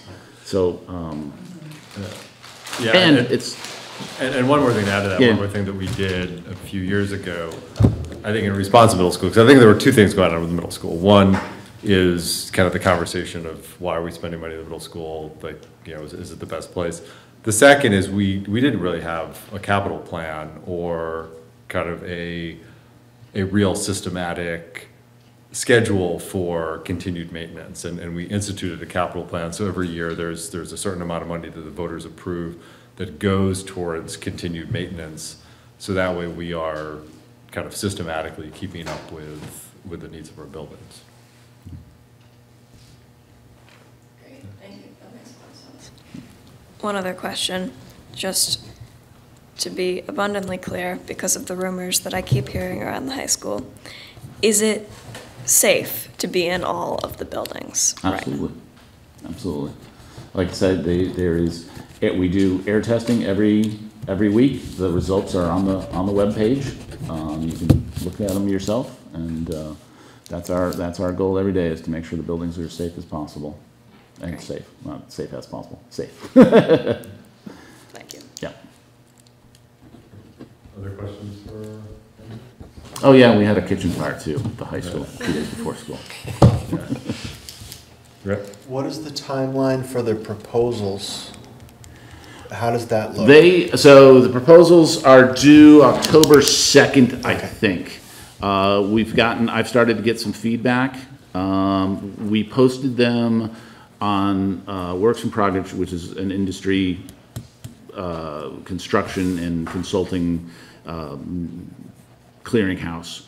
Uh, that uh, so it was, it's been posted there, it was posted on the AIA's website. I actually sent it out to firms that I was aware of and shared it with, with them and asked them if other, other, uh, you know, if they knew other people that were interested, so that it went directly to a few firms. I'm starting to get some feedback, uh, got some questions from a firm today, which to me indicates they're interested and they want to know more. Uh, I've also gotten feedback from, uh, an educational consultant who did some work up in Burlington years ago, uh, that, no, they're not interested. So, um, I think that if we, uh, will, I think Libby and I discussed this about, you know, let's give it a little, see what the feedback is, see if we're getting lots of, firms are not shy to say, hey, we're interested, but we just don't have enough time to put this proposal together. You know, can we get an extension? I think if we, if we, Libby and I will circle back with each other and kind of decide, well, do we, do we amend it and, and, uh, you know, give another two weeks out there for people to put proposals together? Um, or do we stay with the October second and see what comes in and, and work with that. But I think we're, we're about to that point that next week we'll have to make that decision, um, where we stand. Unfortunately, unfortunately, the, it was a short time frame, and unfortunately, it's just the world we live in now. It, the, the, I submitted it to Works in Progress, and it took a week before someone, before I could get a confirmation that it was up and in the right spot, and it wasn't. And so we lost a week there. Same thing with AIA. I sent it in, didn't see it, didn't see it. Hey, did you get it? Well, well, let me see. Oh, here it is. Let me put it. And so, you know, we took a relatively short timeline and we lost a little bit of time in just the process. So, um, Yeah, go for it. Um, My question is um, about, back to the flood. Um, So When at the high school, you recovered really quickly and due to your, a lot to your hard work and also anticipation. um, What, what, um, so the, if, if the water level had been higher than it was um, by X number of feet, do you feel like, um, you know, the high school would have been worse off? Oh, Um, gosh, if we, had if, I think if, I think if the water was eight inches higher, we would be, we would be renting space at the Berlin Mall for classes. Because we would have had to tear out all the, all the carpet. We would have had to, luckily, there's not a lot of chipboard in there, you know, a lot of it's block walls, but anything that was wood or chipboard or any of that would have just, it would have been like a, any, any other store downtown. We would have had to gone there and, and gutted anything that was wet. Yeah, no, absolutely, no, we were, we, it was inches, it was inches. Okay, that's good to know. Yeah. Uh, And I hadn't, I had never, I hadn't heard that anywhere else. Um, You know, one thing that, this is kind of wacky, but I'm interested in, if, it- if it doesn't already exist, um, developing a contingency plan. So if the high school did have eight inches more of water in a, in a flood, you know, where would the students go? Um, And to have that prepared ahead of time and thought out ahead of time. It's not a bad idea. I it guess- might depend on what's available too at the time. Also, is it possible to build anything that would shield the, not really? You can slow it down, but, I mean, you look at, I mean, the post office had flood, flood mitigation, those barriers in front of the, that, that was flood mitigation. I don't know how People's Bank, uh, it's not People's Bank anymore. Um, but You can, you can slow it down, you can, you can, you can reduce it, you can, you can certainly reduce it, but, um, it's never, it's never gonna be totally dry. Well, but just, you know, making that eight inches, twelve inches. Right. Is a big, you know, get, saving four inches, I mean, that's building, you know, that's space that, that's a lot of, a lot of potential damage. You know, four inches is, is a lot of Yeah, I'm not damage. sure. Unfortunately, the wall goes right down, you know, you'd have to, you'd have to Jack it up. Yeah, you'd have to build a moat, you'd have to build a wall, essentially build a wall around it that have sections that pulls out that you could then drop back in. Just to uh, move us along a little Yeah. bit, this is the reason why, one of the reasons why we put out the RFP, so we could spend time talking in hypotheticals, or we could wait for the people, the architects and engineers to come in and give us some options on this. And that's- Just as a point. That was kind of my question, is that, are these types of things in their purview? Yeah, that's, Yeah. I mean, it's gonna be, there's gonna be a lot of, you know, we, we went at this with a, what, what could we do? So, Yeah. there's gonna be a lot of, there's gonna be a lot of options, and, um, we'll, and, and whoever we get will help us with those and manage them and so. The one last piece, and then I'll- we can go to the, the next phase, is, uh, we did have, before the construction at Main Street in Union, uh, we did have the buildings tested for PCBs. They all, they, they all came in, all the, both buildings came in under any actionable levels. I believe this building is scheduled for the spring and the high school next year, no? I think it's on pause, the program. It's 2025. Twenty-five, It's twenty-five for both of them? yeah. Okay, yeah. I didn't- So have they unpaused?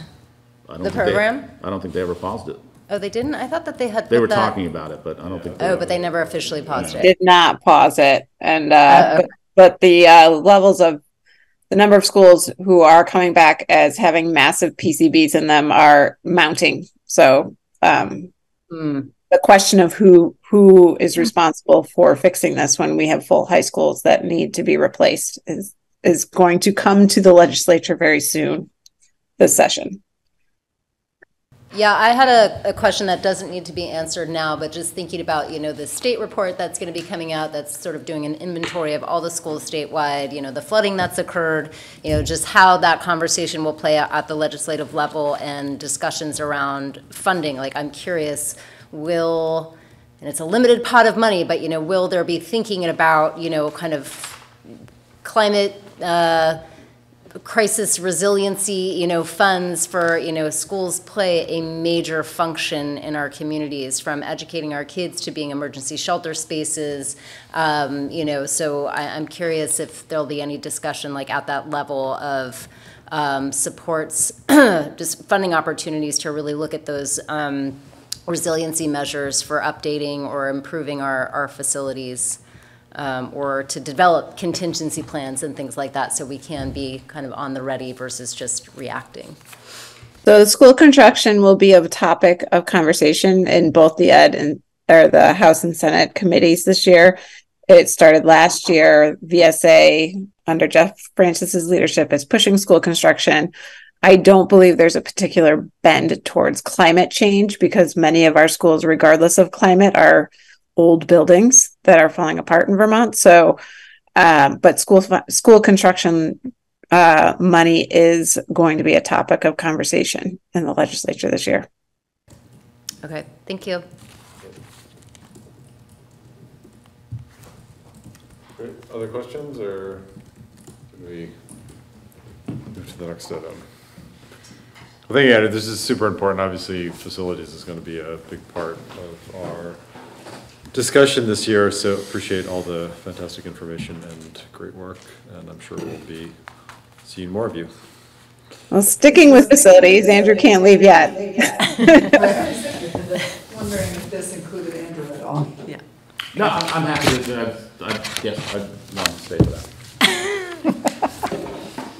Yeah, Andrew can't leave yet. Um, one of the pieces that we want to put in front of the board because um, in preparation for budget season is district space needs. Um, so uh, I apologize that this didn't get out to the board or isn't it wasn't in the public packet, but I'm sure Anna has it up on the website or will have it up on the website very shortly. I'm sorry. We got hard copies here too. Oh, okay. Um, so just to go through this um, relatively quickly, uh, in the last five years, we've added 11 positions to our district wide staff, and these are non classroom positions. Um, and so, with any non classroom positions, you have to find a place for people to hang their hats and, and do their work. Uh, and that's a, that's an increase of 61%. So, there's been a lot of, of positions. And on this first page of overview of district staff, and Anna, if you're still around, if you want to um, put this on the screen so the public and Orca can see it in real time. Um, so the bolded items on the district wide staff that have been the added ones are bolded on this sheet.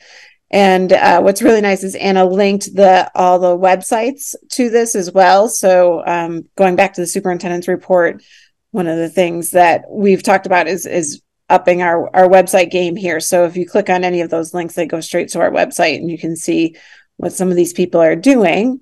Um, but 11 positions are certainly a lot. So Anna, let's keep going.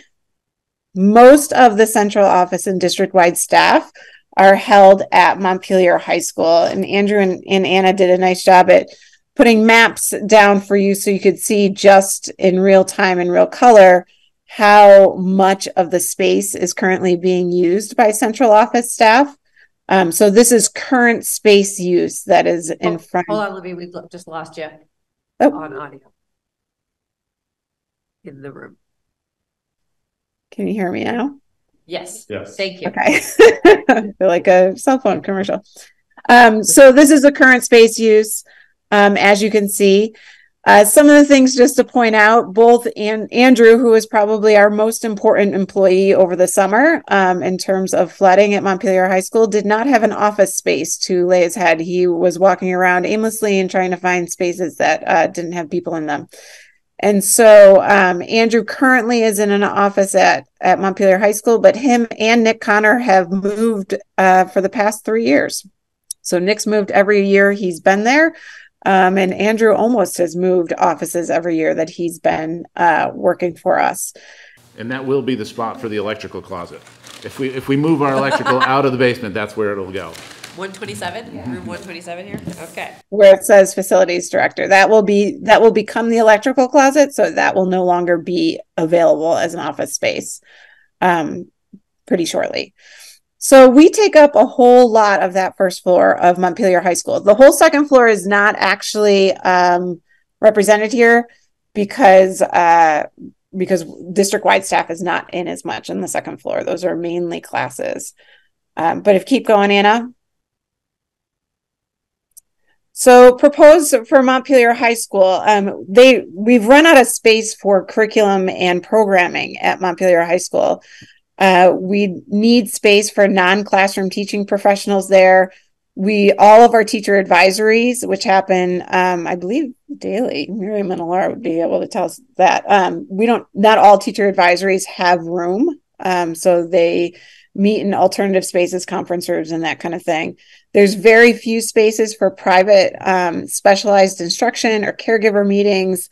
Um, when a student needs a space to calm down, there are very few um, spaces that they could do that in the high school that are not public or you know directly in front of a main thoroughfare for students.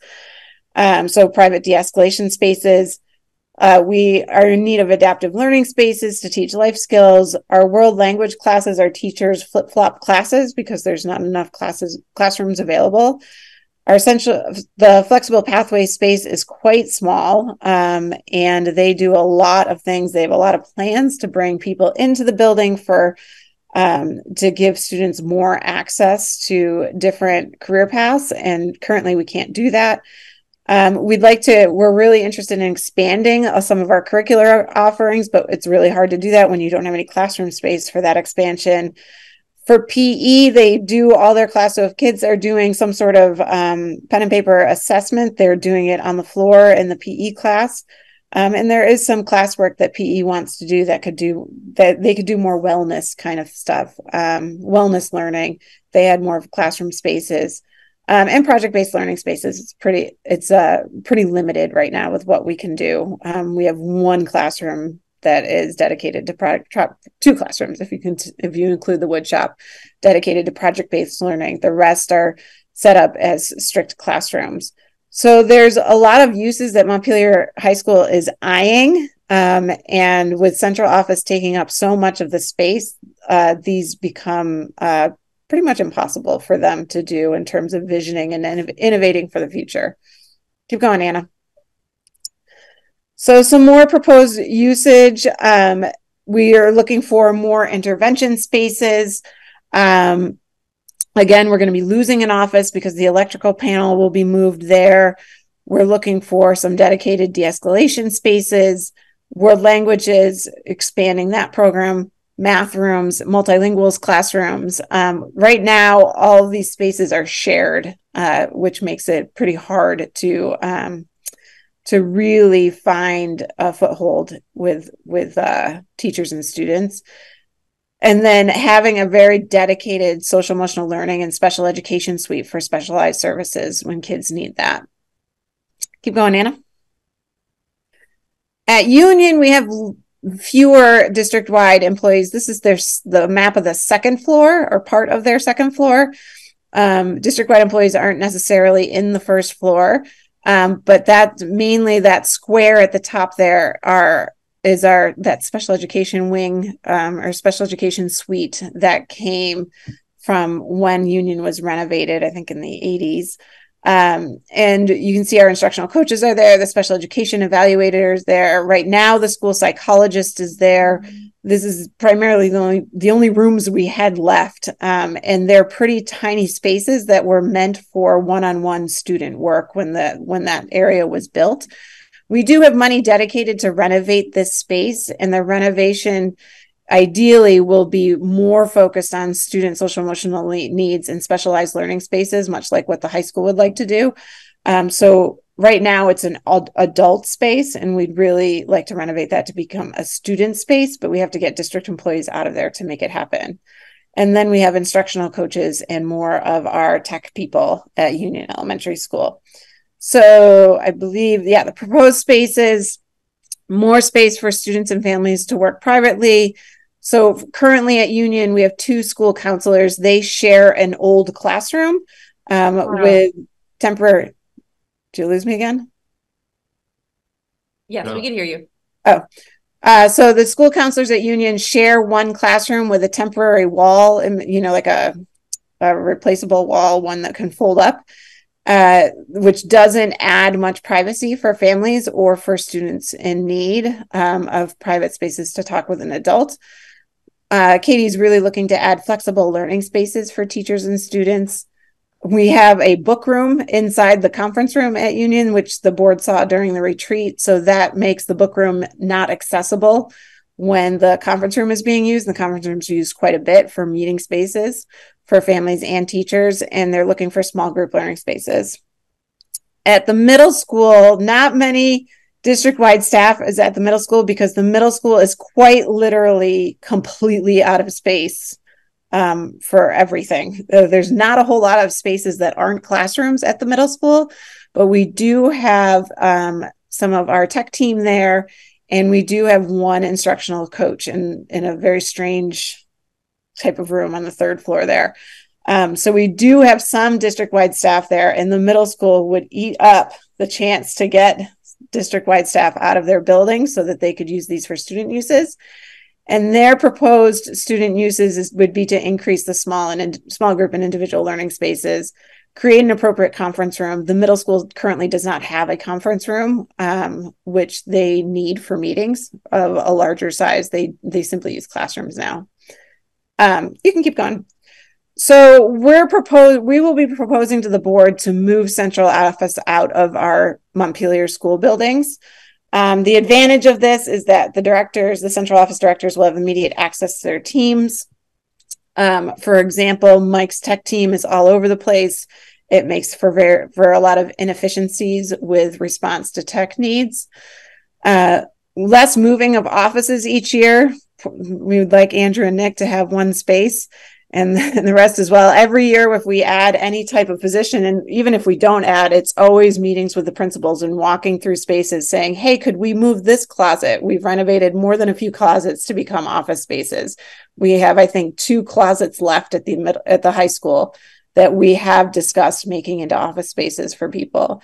Um, and they're they're simply not appropriate. There's reduction in the amount of parking spaces used at MHS. The board has heard, particularly from our students representatives, that we run out of parking every year at, in the middle school, especially when our sophomores start getting their license and driving.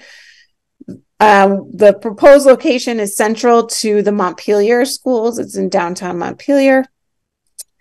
There's a, there would be a dedicated common space, a beautiful space for school board meetings that would make it more accessible for our public, especially when they're in house at our meetings to hear um, it's not a library space that makes um, hearing and seeing seeing presentations and things difficult.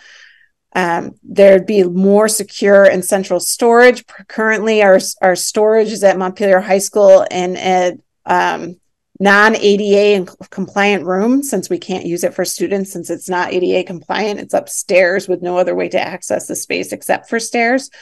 Um, so our employees have to access it and, and it's not ADA compliant. Uh, a welcoming space for visitors. When visitors come into the central office, there are literally two chairs in the main court, between two desks for people to sit, not ex- exceptionally welcoming to people. We have very few district wide meeting spaces. We mainly use um, MHS's meeting spaces, which takes up more of their their space. And there's a lot of pressure on custodial staff with all the outside usage for particularly at MHS. Some of the disadvantages of consolidating central office off-site, and if you want to keep going for me, is the cost. It's expensive. There's, we're talking about a lot of people who would need space, and so there is an increased cost to moving the central office out of the schools, which we'll get into in a minute. And less student contact from central office administrators. I like being with the students every day, so I would I would certainly miss that, and I know that the people, the rest of the the central office staff would miss that. We would have to up our game in, in terms of making sure that we are making contact with students more. So the proposed space is over behind Skinny Pancake. It is currently where the um, Vermont, I'm going to get this wrong, Andrew, Vermont Cities, Towns, Leagues. Cities and towns. Yeah, that space there. They they are they are almost entirely virtual now. Um, so they're looking to uh, find somebody to rent out the rest of their contract. we actually would not take their entire space because it's ginormous. We would split it, um, split it in half essentially, or the the people who own the building would be splitting it in half for us. The cost includes everything. It would be all inclusive, so our custodial staff would not be having to take care of us, um, and, and includes parking and all of that kind of thing for our employees. We would have to pay for internet and that piece, and there'd be some initial costs for a startup in this space. Um, but if you keep going, Anna, it would be a true central office space. So Anna and, and Andrew have kind of put a little, put some ideas. You can see how all of us would be right together and consolidated um, so that we are easily accessible to each other um, at all times. And that we would also have a nice seating area for any guests who came in. Um, a couple different conference rooms to use in terms of district and community usage and um, it'd be just it would be a, a space for the central office team to to be together and and have more space in our buildings for for students which is what we really would like oh and there's just a couple pictures of the space right now um, that top right corner the yellow with the yellow wall there that is the boardroom i believe which is which is a nice space for for board meetings to occur um, so that's something that we wanted to put in front of the board because it will be a big ask during budget season, and this budget season may be tricky, a tricky one. Um, but we did want to get it in front of you early so that you'd have plenty of time to think and and uh, talk that through as a as a group. Great. Questions for Libby about? I mean, I, I think it's a great and needed idea. that the cost is something you have to very seriously consider, but. Are there trade-offs in the budget that will make it possible, or is it? it- Purely additive? Hmm? Is it purely additive? Yeah, right, is it, is it, a- is it just plus adding on to the ask of the budget, or are there things that are in- your mind that are gonna, uh, provide space, budgetary space? We haven't gotten to that level of detail yet in the budget planning, um, but we have spoke. All of our principals are are right on board with this idea. So um, we have talked about if if this is what we want for this this budget year, then we're going to have to make some some um, we're going to have to make some choices elsewhere in order to make this happen. Um, and everybody's understanding of that. But we haven't gotten into the level of detail to be able to to share with you yet. More to come. Um, how long is the lease that we'd be picking up? How long does that last? I think they got, I think the. So the way it's set up is the, the league has this space locked in for, I think it's another two years. Uh-huh. And, um, but the Realtor, the owner of the building, they're also very flexible. They could buy them out if we committed to two years or be a subletter to Uh-huh. them. So there's, but fundamentally, this is, it's a two-year. And then the longer we made a commitment for, the happier they would be and the more negotiation we would have with them. Uh-huh, But okay. Um, yeah, I mean, I think it makes a lot of sense. Um, and I think, uh, I, mean, I would venture to guess that most other school districts have a separate building for their uh, central office staff. Um, so I think it, it does make sense. And I'm surprised we've been able to sort of like cobble it together and make it work for as long as we have. Um, I do have a couple questions. My, my first question was, so when I look at the list of employees, um, are instructional coaches only adult facing or do they also interface with students? Sorry, turned off my video instead of instead of unmuting myself. Um, they are primarily adult adult teachers. They're teachers of adults primarily. That's not to say that they don't work with students occasionally, particularly if they're demonstrating a teaching concept to an adult. Um, but they are not responsible for for students. Okay. So yeah, and again, just kind of what you touched on, on one of, one of the sort of potential drawbacks. The other thing I think of when I look at this list is, i- is there any benefit of any of these folks on this list remaining in the buildings? Like, is it an all or nothing, or could we look at some positions, maybe wellness staff or something, being, you know, remaining in schools because they want to have closer contact with students, or are you really seeing it as sort of like an, The um, pre-K through fourth grade SEL coach would obviously stay primarily at Union um, and visit RVS and the K and the um, sorry, there's the fifth through sorry the fifth through eighth grade SEL coach would obviously stay at the middle school and not be um, they'd probably have a space at the at a consolidated central office for when they need to be there um, but they would their primary home would stay in those buildings okay. And then my last question is just around like money. It's a little bit of sticker shock. It's about $250,000 a year um, to pay for the lease. And I'm just wondering if it's been floated by anybody or if you guys have discussed the potential of purchasing a property rather than leasing.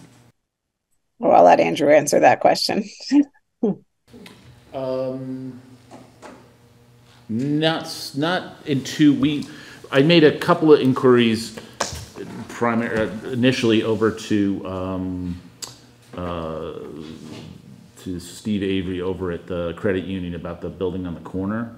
They were trying to decide whether they were gonna keep it, sell it, lease it.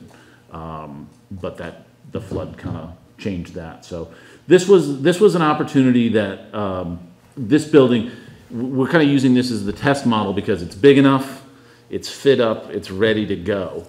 If, if there is a, if there is a desire to push this even further, look at it further, um, we absolutely would, would reach out to a broader base of, and, and the real estate market has changed in Montpelier in the last two months. So, uh, there may be opportunities that weren't there two months ago, and there may be less opportunities in some respects that there, than there was two months ago. So this was just, this is just a, a really good test case of, it's a good space in the right location, it's a great space in the right location, and with a, you know, with a, with a, some real knowns about how many people would fit there and how much it costs to actually really rent a space like this. So I think absolutely that if, if there was a desire to go further, we would keep looking. Yeah. Yeah, One of the- 'cause- One of the challenges we came up with is that a lot of the buildings in Montpelier that aren't state, state used are older, um, and there's a lot of people we need to find space for. Um, and so, you know, an old house isn't gonna do it for us, we need, we need some other structure for that, so that was one of the challenges Andrew was running into when we were looking at multiple spaces. Finding proper office space. Yeah, it does feel like in, in the two-year lease, we're gonna spend close to five hundred thousand dollars, and that feels like a good down payment on a property. You know, just, but, so that's, that's my biggest sort of concern, is like, is this an opportunity for us as a district to invest in a property that becomes an asset for the district rather than renting? Which seems like a good question for the survey process we're about to enter. Um, but that does get, remind me of a follow-up, which is, were there any other spaces you considered and then turned down? Uh, we were, we were in the process of continuing to look, again, the sort of, this was one level, one space, not, ten thousand or eight to ten thousand, however we, you know, whatever, it's a lot of space to Yeah. find in one level. And, and then it started to rain. So, oh, some of this further fine tuning of space searching kind of. Gotcha. Got to a Okay. backseat, so. It, um, it might be helpful if there, if you had a chance to do a moderate survey of what's out there, just to be able to make a comparison.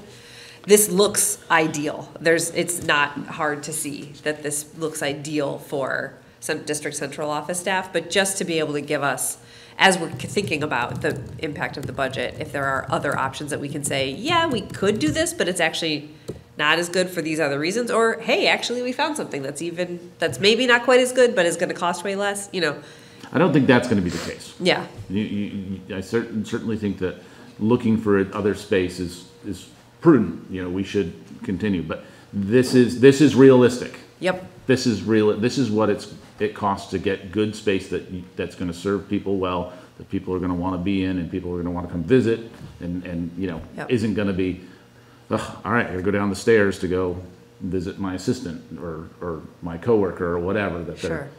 they're in one level. Um, I guess my first question is for um, Libby. Um, Are are the 29 district staff all uh, in person every day? Yes, we don't work, we, we don't work virtually, except for, you know, myself. right now. But yeah, no, all of these people are in-person employees. Okay. um,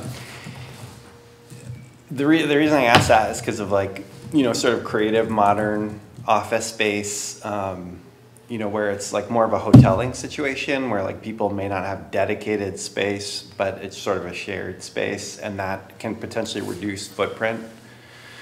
Um, But then, that might not be a possibility here if everybody is in person every day. Um, But, um, you know, the other thing, like, that is apparent to me is that, you know, when you think about 11 new positions, um, you know, the, the cost associated with them is usually like their salary and benefits. But in this case, you also have, you know, the 11 pos- new positions precipitate the rental of a $20,000 per month office space.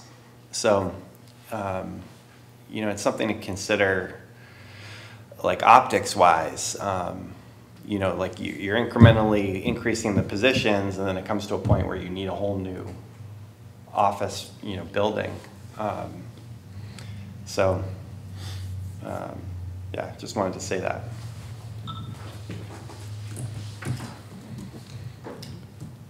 I think something that stood out to me also was, you know, not only just the, you know, the need for more admin space, and I'll echo too, I mean, it just like geographically, if you look, it's like this space is like, is literally like this central hub between the three, the three Montpelier-based schools, so I certainly see um, just sort of the ease of that and folks to kind of get to those schools easily um, and almost in equal time. But um, I'm also just looking at all of the, um, kind of the identified needs um, that aren't currently being met. And i'm thinking about those things in terms of like what of those kind of things can be solved just by way of like swapping spaces um, or just adding a new space and then i'm seeing like an, you know additional things that would actually require seemingly some investment of, of resources like an adaptive learning space to teach skills um, like project-based learning classrooms. That sounds awesome. You know what what are we what would we be looking at you know for something like that or like flexible teaching spaces? So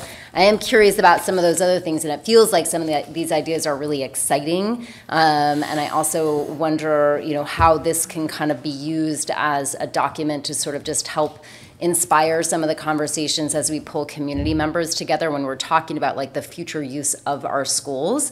I think sometimes like for parents invested you know caregivers and families like we spend very little time inside of the schools and where many of us are also not in the world of like education innovation so we don't even necessarily know what's possible you know what it could be in our schools. So some of this just feels kind of helpful for that dialogue um, that will be upcoming but so i guess yeah what i'm also thinking about is like you know the added cost of you know a monthly rent and then i'm thinking about oh you know and are we going to want to do these things too and what are the costs and how does that fit into capital plan and um, and things like that. So um, that's just something that stuck out to me like exciting things and also some of them certainly seem to have um, a price tag. And um, as and this is just like the other in the in the kind of wheel of options um, renovating existing buildings adding on to existing buildings. I have no idea. I mean is that even viable? Worthy you know i know main street middle is like tight. It's on a small you know lot ues you know they're like very old historic buildings. I have no idea but I just wonder, like, in the wheel of options of things you've considered, you know, as we have to, you know, represent this to the public in our communities, like, you know, these are all the things that kind of were looked at and are just not considered to be viable for, you know, X number of reasons. So that could be helpful. Is, I mean, I'm, I'm sensing that the desire is to have a space for next school year. Is there, um, you know, beyond, I mean, I understand like sort of the limited space argument, but like if there was a need to wait a year, is that possible? Or is it sort of like you've really gotten to a point where you've outgrown the buildings and it like really kind of needs to happen by fall of 2024. I would argue that we have outgrown the buildings. There is no more space. Um, we have students who need de-escalation and we literally have no space to do that at the high school. That's not public. That that other kids can't see it happening. Um, and for a high school kid, that's just not okay. Um, so I'd I'd argue that we are out of space. Um, we cannot innovate at the high school in particular because of the the amount of space that central office uses. So there there is no space, and they are sharing classrooms now, um, particularly world languages. And the other piece that I would worry about, and and granted, things have changed because of Montpelier's flood. So, um, is that there this space would not be available in a year. Um, they they are moving and and on this space, and they've already we already had more space available to us at um, the city place area and they've rented that out to to food pantry and other good uses as well already. So they're already um, kind of dissecting the space and, and moving on. So i would i would say that we would need to find a different space and that might be possible based on what has happened in montpelier. You know like as andrew said earlier it's a it's a completely different world in downtown Montpelier right now, and, and no one really knows what's happening there. So, um, I know that he's talked to Andrew's talked to the the state to see if the state had it because lots of state state employees are working from home. So could we rent some of that space? But now it seems as if the the state is trying to get those rebuilt and renovated now. So it's it's up in the air, totally up in the air. But I do think this space would not be available to us in a year. I just echo Kristen's um, feeling of, and I think um, other people have mentioned sort of like the the need for information on like what other options have been explored, um, and because I know like even even during the discussion on Front Porch Forum that happened around like moving the school or getting rid of the high school, there are several pretty public like um, that that are in the public awareness buildings that people point to like why wouldn't you be able to use this or that or this? And so like for example vermont college um, will be one of them that people will say you know did you look into renting space up there or buying one of those buildings? And so i just would like to have that information at the fingertips to be like this is why buying um, you know a million dollar property in montpelier isn't the right way to go and it's better to rent. This is why building new um, wouldn't work.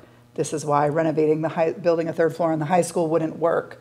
Um, you know, this is why we narrowed down all the options to this particular space. I agree.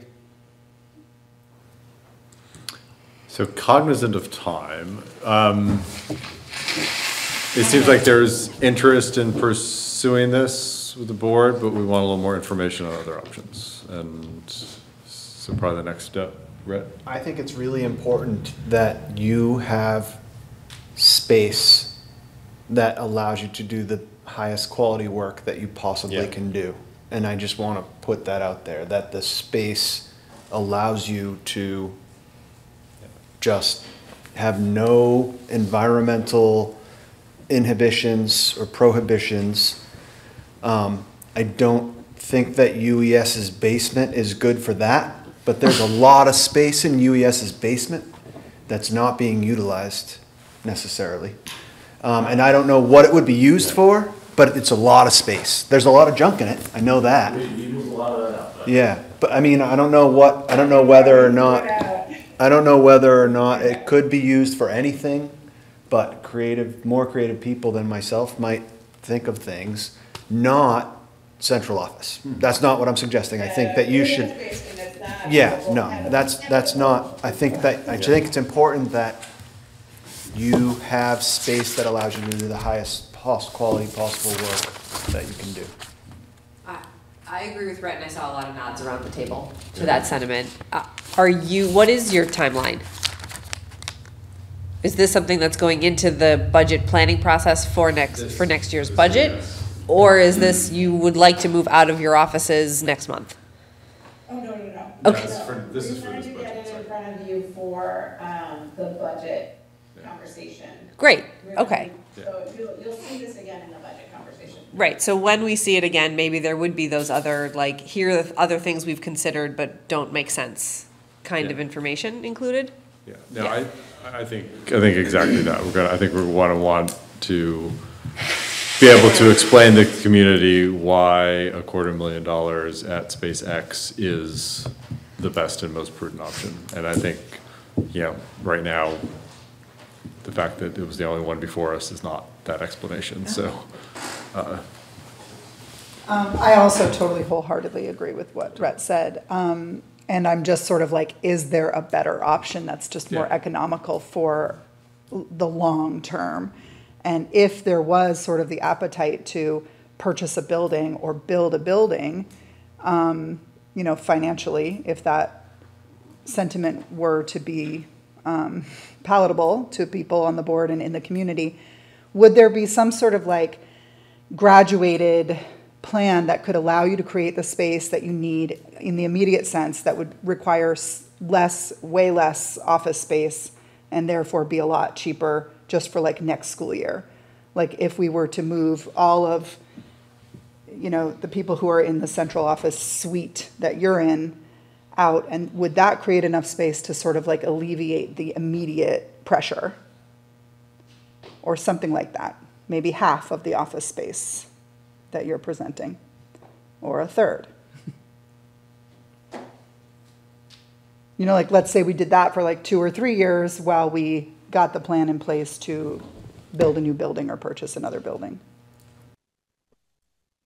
I think that would probably fall under options that that, that you've all asked us to to look into. So I think that would that's where that would fall. Okay, That makes sense? yep.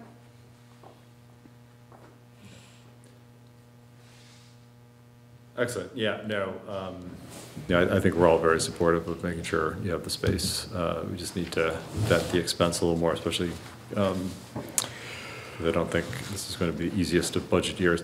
So, uh, we've got community outreach, uh, concerning budget development and future presentations. We're at eight thirty.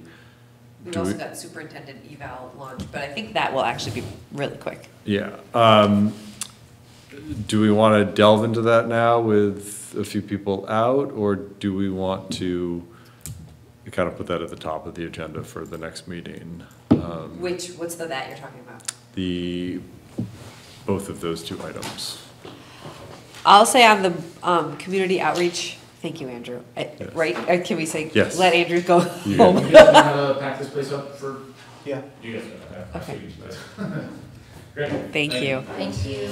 Um, on Thanks, the Andrew. community outreach opportunities concerning the budget, we have one that's coming up before our next meeting, which is the Fall Festival. Yes. Where does that table go? The center table? I think we just push that to the side. Thank you. Um, and I would really like to get as much board participation in that as possible because the whole community will be there and it Yeah. seems like a really great opportunity. Um, I would, I think it would be helpful for us to know what we would, like what information is good to share and what questions are good to ask when we're approaching the community about the budget, because we're not gonna, I don't think we're gonna just ask open-ended questions like, what do you think we should spend money on? I think we need to frame the conversation a little bit more. So I think it would be helpful to talk about that tonight, just so that we're prepared for the fall, can, can really make the most Yeah. of the fall festival. I mean, sh- go to the fall festival and have a good time too. But it does seem like a really good community engagement opportunity in advance of budget season too. Yeah, Alara? Um, so I'm actually helping MC the fall festival. So if you want to give me like a little script, I can stand up in front of people and be like, I'll try to make it a little funny because that's what I like to do. But I, I'm a resource for that if you want. Thank you. Yeah. We could use all the funny we can get when it comes to talking about the budget. She's very good. That's awesome. So thank you. Yeah, no, I think that makes sense, um, at least to frame up kind of what we want to do for the fall festival. I mean, a- a suggestion that I have, I think we talked about this earlier, Mia, is maybe put some sort of idea board at a table and, and put it in buckets of kind of, you know, where people feel their needs, like, you know, academics, facilities, um, you know, Are you staffing this table, Mia? I'm um, hoping we, there will be many board members staffing this table. Oh, Because I'm already staffing popcorn. Maybe we can stand next to each other. Right, could be right there. Yeah. And then you all can volunteer for popcorn as well. You Just rotate back and forth. Yeah. So your idea of an idea board, Jim, is that people would then like, like a sticker? Yeah. Like they'd take a sticker and say, this is where I think academic, like where money should be spent? Is that what you mean? And Sticker, or I, I would say just get, have, just have a pen. and just- Some markers and they Yeah. can write what they're, like, what they're- new playground at MSMS. Yeah, Yeah, yeah. Under playground, facilities. yeah, Got it. Cafeteria, like. Okay. um, Yeah. Um, Makerspace, makerspace. Uh-huh. A pool, Uh-huh. more parking. yeah. Parking garage. Okay. And how much do we want to frame up the challenges of, that we are anticipating when it comes to the budget around? I think for the fall festival, we can, I mean, actually, that's one thing that I was gonna mention to Libby. I think it would be helpful to get a sense to the extent we have a sense of what we're facing from the equity weighting change. Um, and I know that's probably ballpark figures at this point, but I also know it's, it's not nothing. Um, so that, that might be good just as we go into the, the budget conversation. It would be nice to have some sort of little takeaway, like piece of paper flyer with the schedule, sort of, in you know, with anticipated um, public meetings Yeah, listed that, think- you know, want to voice, want to share your voice on, the Uh-huh. in budget season, you know, or budget creation. Yeah. And then like some opportunities to do that. Be nice to, and it could have like one, double-sided, like, one side could be the sort of like bullet list of potential dates, and then the other side could be some of the like major bullet points that we're gonna be considering for the budget. Uh-huh.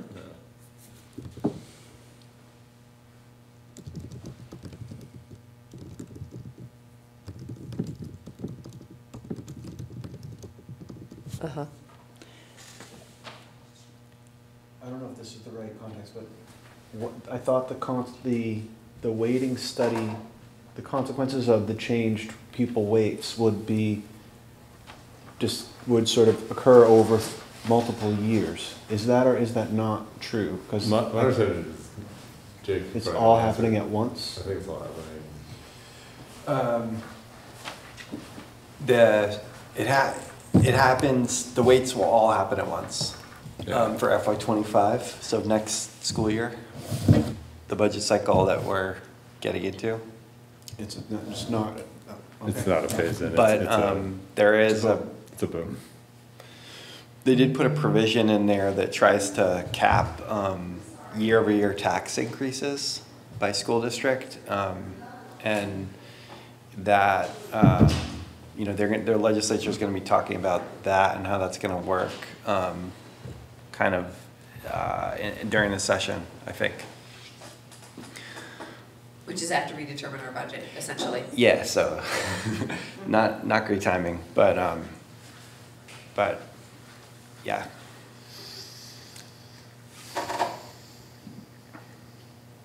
Okay, so we have some ideas of how to bring the budget to the community at the Fall Festival. Um, I think we can pick back up at the next meeting on the rest of the Yeah. community engagement. Um, and how would you like to handle volunteering at the board table? Should we do that over email? I think so. Maybe even like a Google Doc or, over- yeah. And that's like fine to do because it's like scheduling things. Scheduling. It's like things, yeah, carpooling yeah. or like, yeah. The only thing we can't do is like, We're what not are we gonna gonna- spend our money on? Let's, let's have a Google Doc. But we can, we can schedule carpools and. 'Kay. And scheduling and, yeah. I'm happy to put that together and be very encouraging of my fellow board members to join me at the table. Okay, Can I wear a pea suit? You I hope you do. you We're expecting. I hope you do. to do so. Are we gonna have a dunking thing again? Yeah, that's happening. Apparently, you haven't been invited to be dunked, so maybe you're off the hook this year. Yeah, I've, I've been dunked in the past. I tried to dunk Jim one year. I did not have a very good aim, yeah. so Oth- he stayed other- dry when I was throwing the ball. No, other people have better aim, so. Yeah, some of them just walk right up and. Anyway, okay, I digress. Moving on. Um, okay, great. Uh, future presentations, um, I mean, I just, just two to throw out there, and I think we should talk about it at the next meeting too. Uh, we do have a couple board members who I don't think have had a presentation on communications, which I think would be great. Um, and I think with all the new data on the website, it would be great to have, you know, some that go through that, and I think just the regular ones, like an update on social, emotional, um, social, yeah, yeah, that. Um, and, um, it'd be great for you to think some ideas of some presentations you might want from a student perspective. So, yeah, let's, let's do that at the next meeting too, and, um, and me like, how many slots do we have for presentations? As many as we want, basically? You're the board, you tell me. I mean, we, we might to throw some trainings in there too, because we haven't, um, I think it's always good to, uh, you know, again, communications, because like, you know, Jake hasn't gone through the, you know, how to communicate as a, a board member. Um, I think getting the latest on hazing, harassment, and bullying from Heather is always great. Uh, I know we've done that semi-recently, but, uh, we've had a couple new board members since then, so.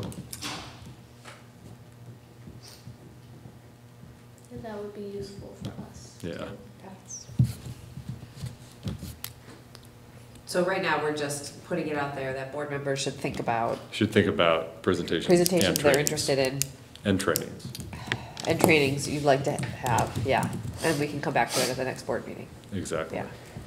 Um, And just as an FYI, for board members who don't know and the public who doesn't know, in the agenda that goes out on the, on the public, there is at the bottom of it a link to the board calendar, so you can see what is already planned and upcoming. So for example, there's already three presentations on data, data that we get every year, and I think those are already in the calendar. So, and then you can see like, oh, okay, um, uh, you know, when could we have something around that or a follow-up presentation on something after the data presentations? It helps, helps put that stuff in context. And should we just email you too? And with- Libby. And Libby with our, mm-hmm. like, desires, suggestions? Yeah, definitely, and then we can. Yeah, take a little time in the next meeting to uh-huh. synthesize those. Yeah, and, and Jake, feel free to suggest whatever, because, you know, you. Okay. You have not had, had much information, yeah, same, same to you, Laura and Miriam. I mean, basically, it's like any function of the school district, if you want to hear from any of the people that work for the schools about a specific topic, or um, if you hear from other students that they want to hear about something, then you could ask for that.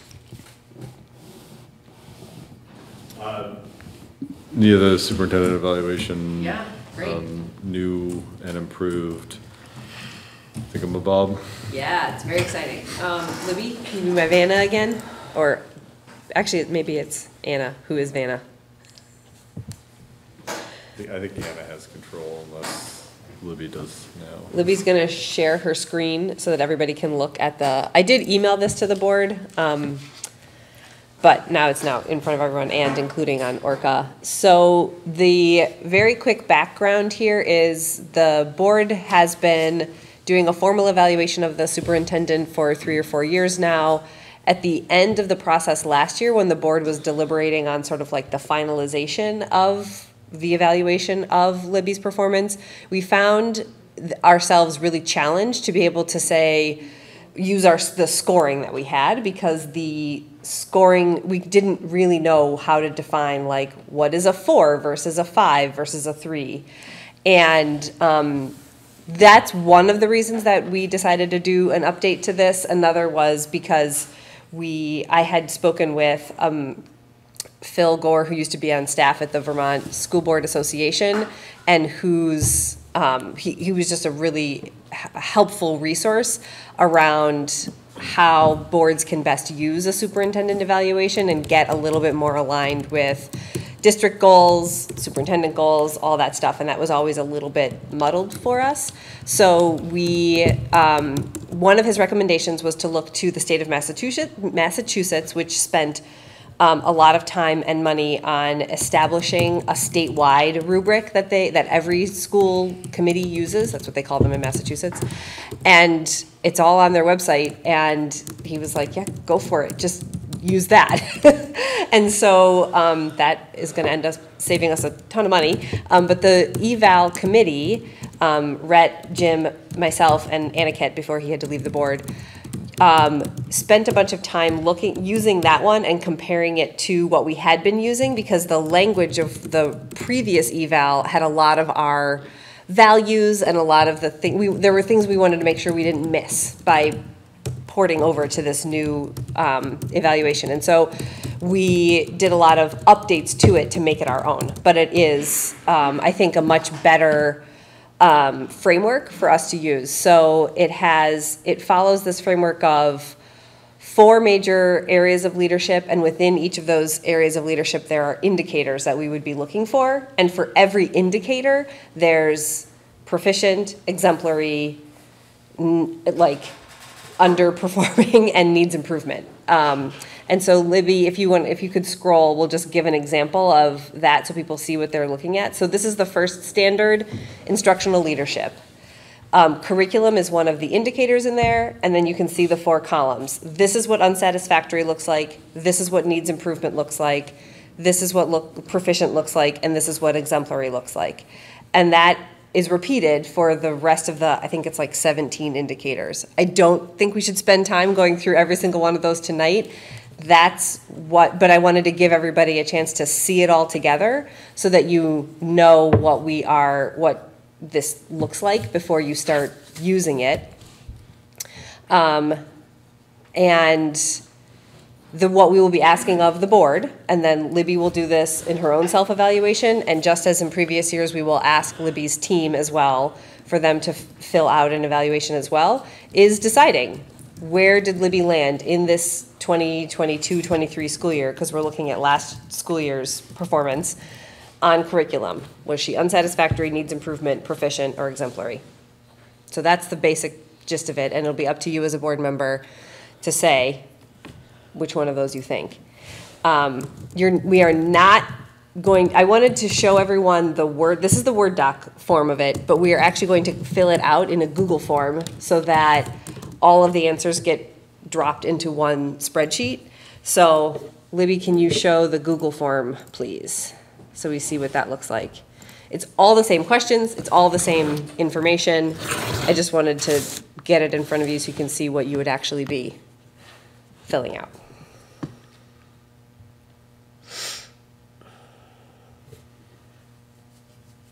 I clicked on the link. And it says MRPS Superintendent Evaluation 2022-23, the form Oh, is no longer accepting responses. not accepting, so let me open, start that. I forgot that that needed to be open. Okay, should work now, maybe you just need to refresh to make it work.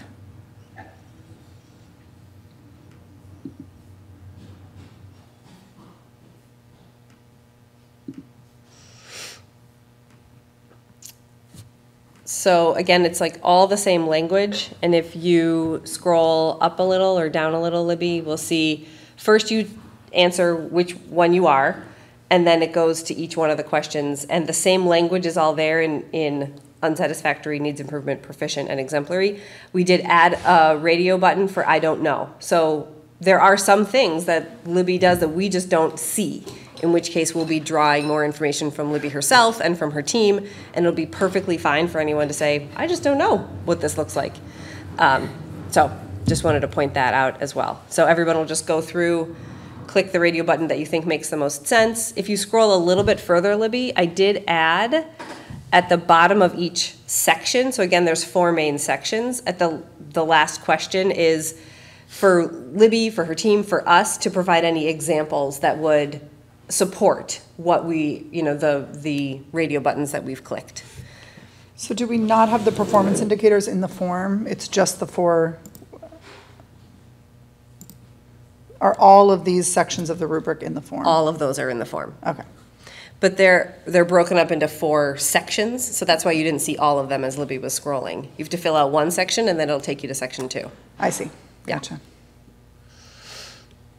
Great. Wow. Any other questions to feel ready to start filling this out? I have a quick question. I just wasn't sure why there were some rows that were highlighted blue. That was done in the, what- the way it was on the Mass website to just, I think, to set rows apart from each other. Okay. And then the reason you might see two in a row that are not blue or two is because Yeah. there were some indicators that Massachusetts had that we got rid of because Okay. they weren't things that were germane to our district. Gotcha. So the blue doesn't mean anything. Okay. It's just a visual It's just thing. pretty. Gotcha. And mm. when are we suppo, when Oh. are you wanting to get, The timeline for this is, we'd like the evals to be completed, I believe, by next Friday, bless you. And I can email that as a reminder to everyone. Yes, the- well, October 6th. That's not next Friday, is it? Two Fridays from now? Yeah, two Fridays. Two Fridays from now. Are Miriam and I doing it? You may. Okay. there wasn't an, uh, well, yeah. You'd I be a board member. Board member, yeah. Yeah. Okay. Because it's really just offering your insights. And again, one, totally fine to, to click, I don't know. Okay, thank you. But is it specific about performance from the 22, 22 to 23 school year? Yeah. Yeah, yep. Oh. If you would like to rec- not, that's okay. Yeah. I don't really know. Yeah, I wasn't right. Paying much attention. Right, that's okay. Well, right, and same with our student reps, like they weren't, you weren't serving in a board capacity at the mm-hmm. time that this evaluation window. That's true. That- that- some of Applies it, to. though, Had to do with like community outreach and community engagement. So if you've got a sense from being a Yeah. student or being a caregiver or just being a community member, I mean, I think it might be worth scrolling through and seeing if there's a few where you do know, or do feel Yeah. you know. We can definitely look. Mm-hmm. Yeah. Any other questions? All right. Yeah, no, thank you for putting that in a very user-friendly and organized form. It'll make it You easier. did a lot with this. Yeah,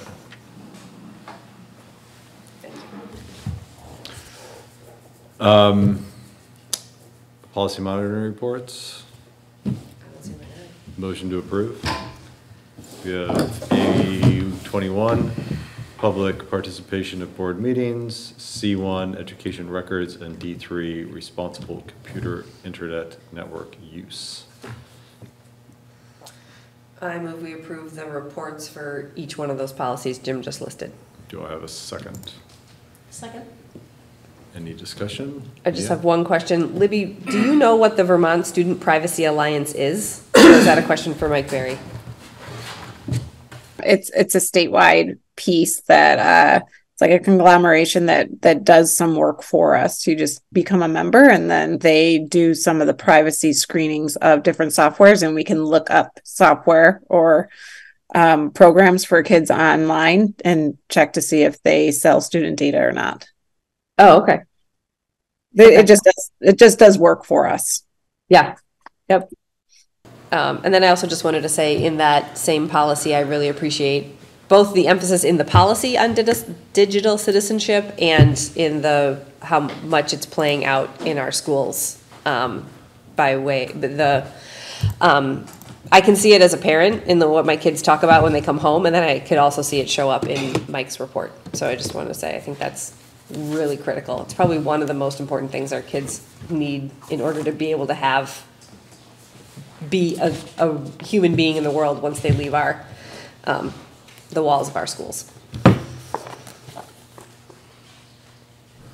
Excellent. Um, any other questions or discussion about the policy monitoring reports? Uh, all those in favor of approving them?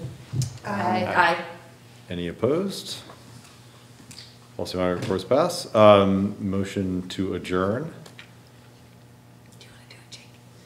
Second it. No, you can make the motion. You, you can make it. Yeah. Uh, motion to adjourn. Do I have a second? A second. All's in favor? Aye. Great, thanks, everyone.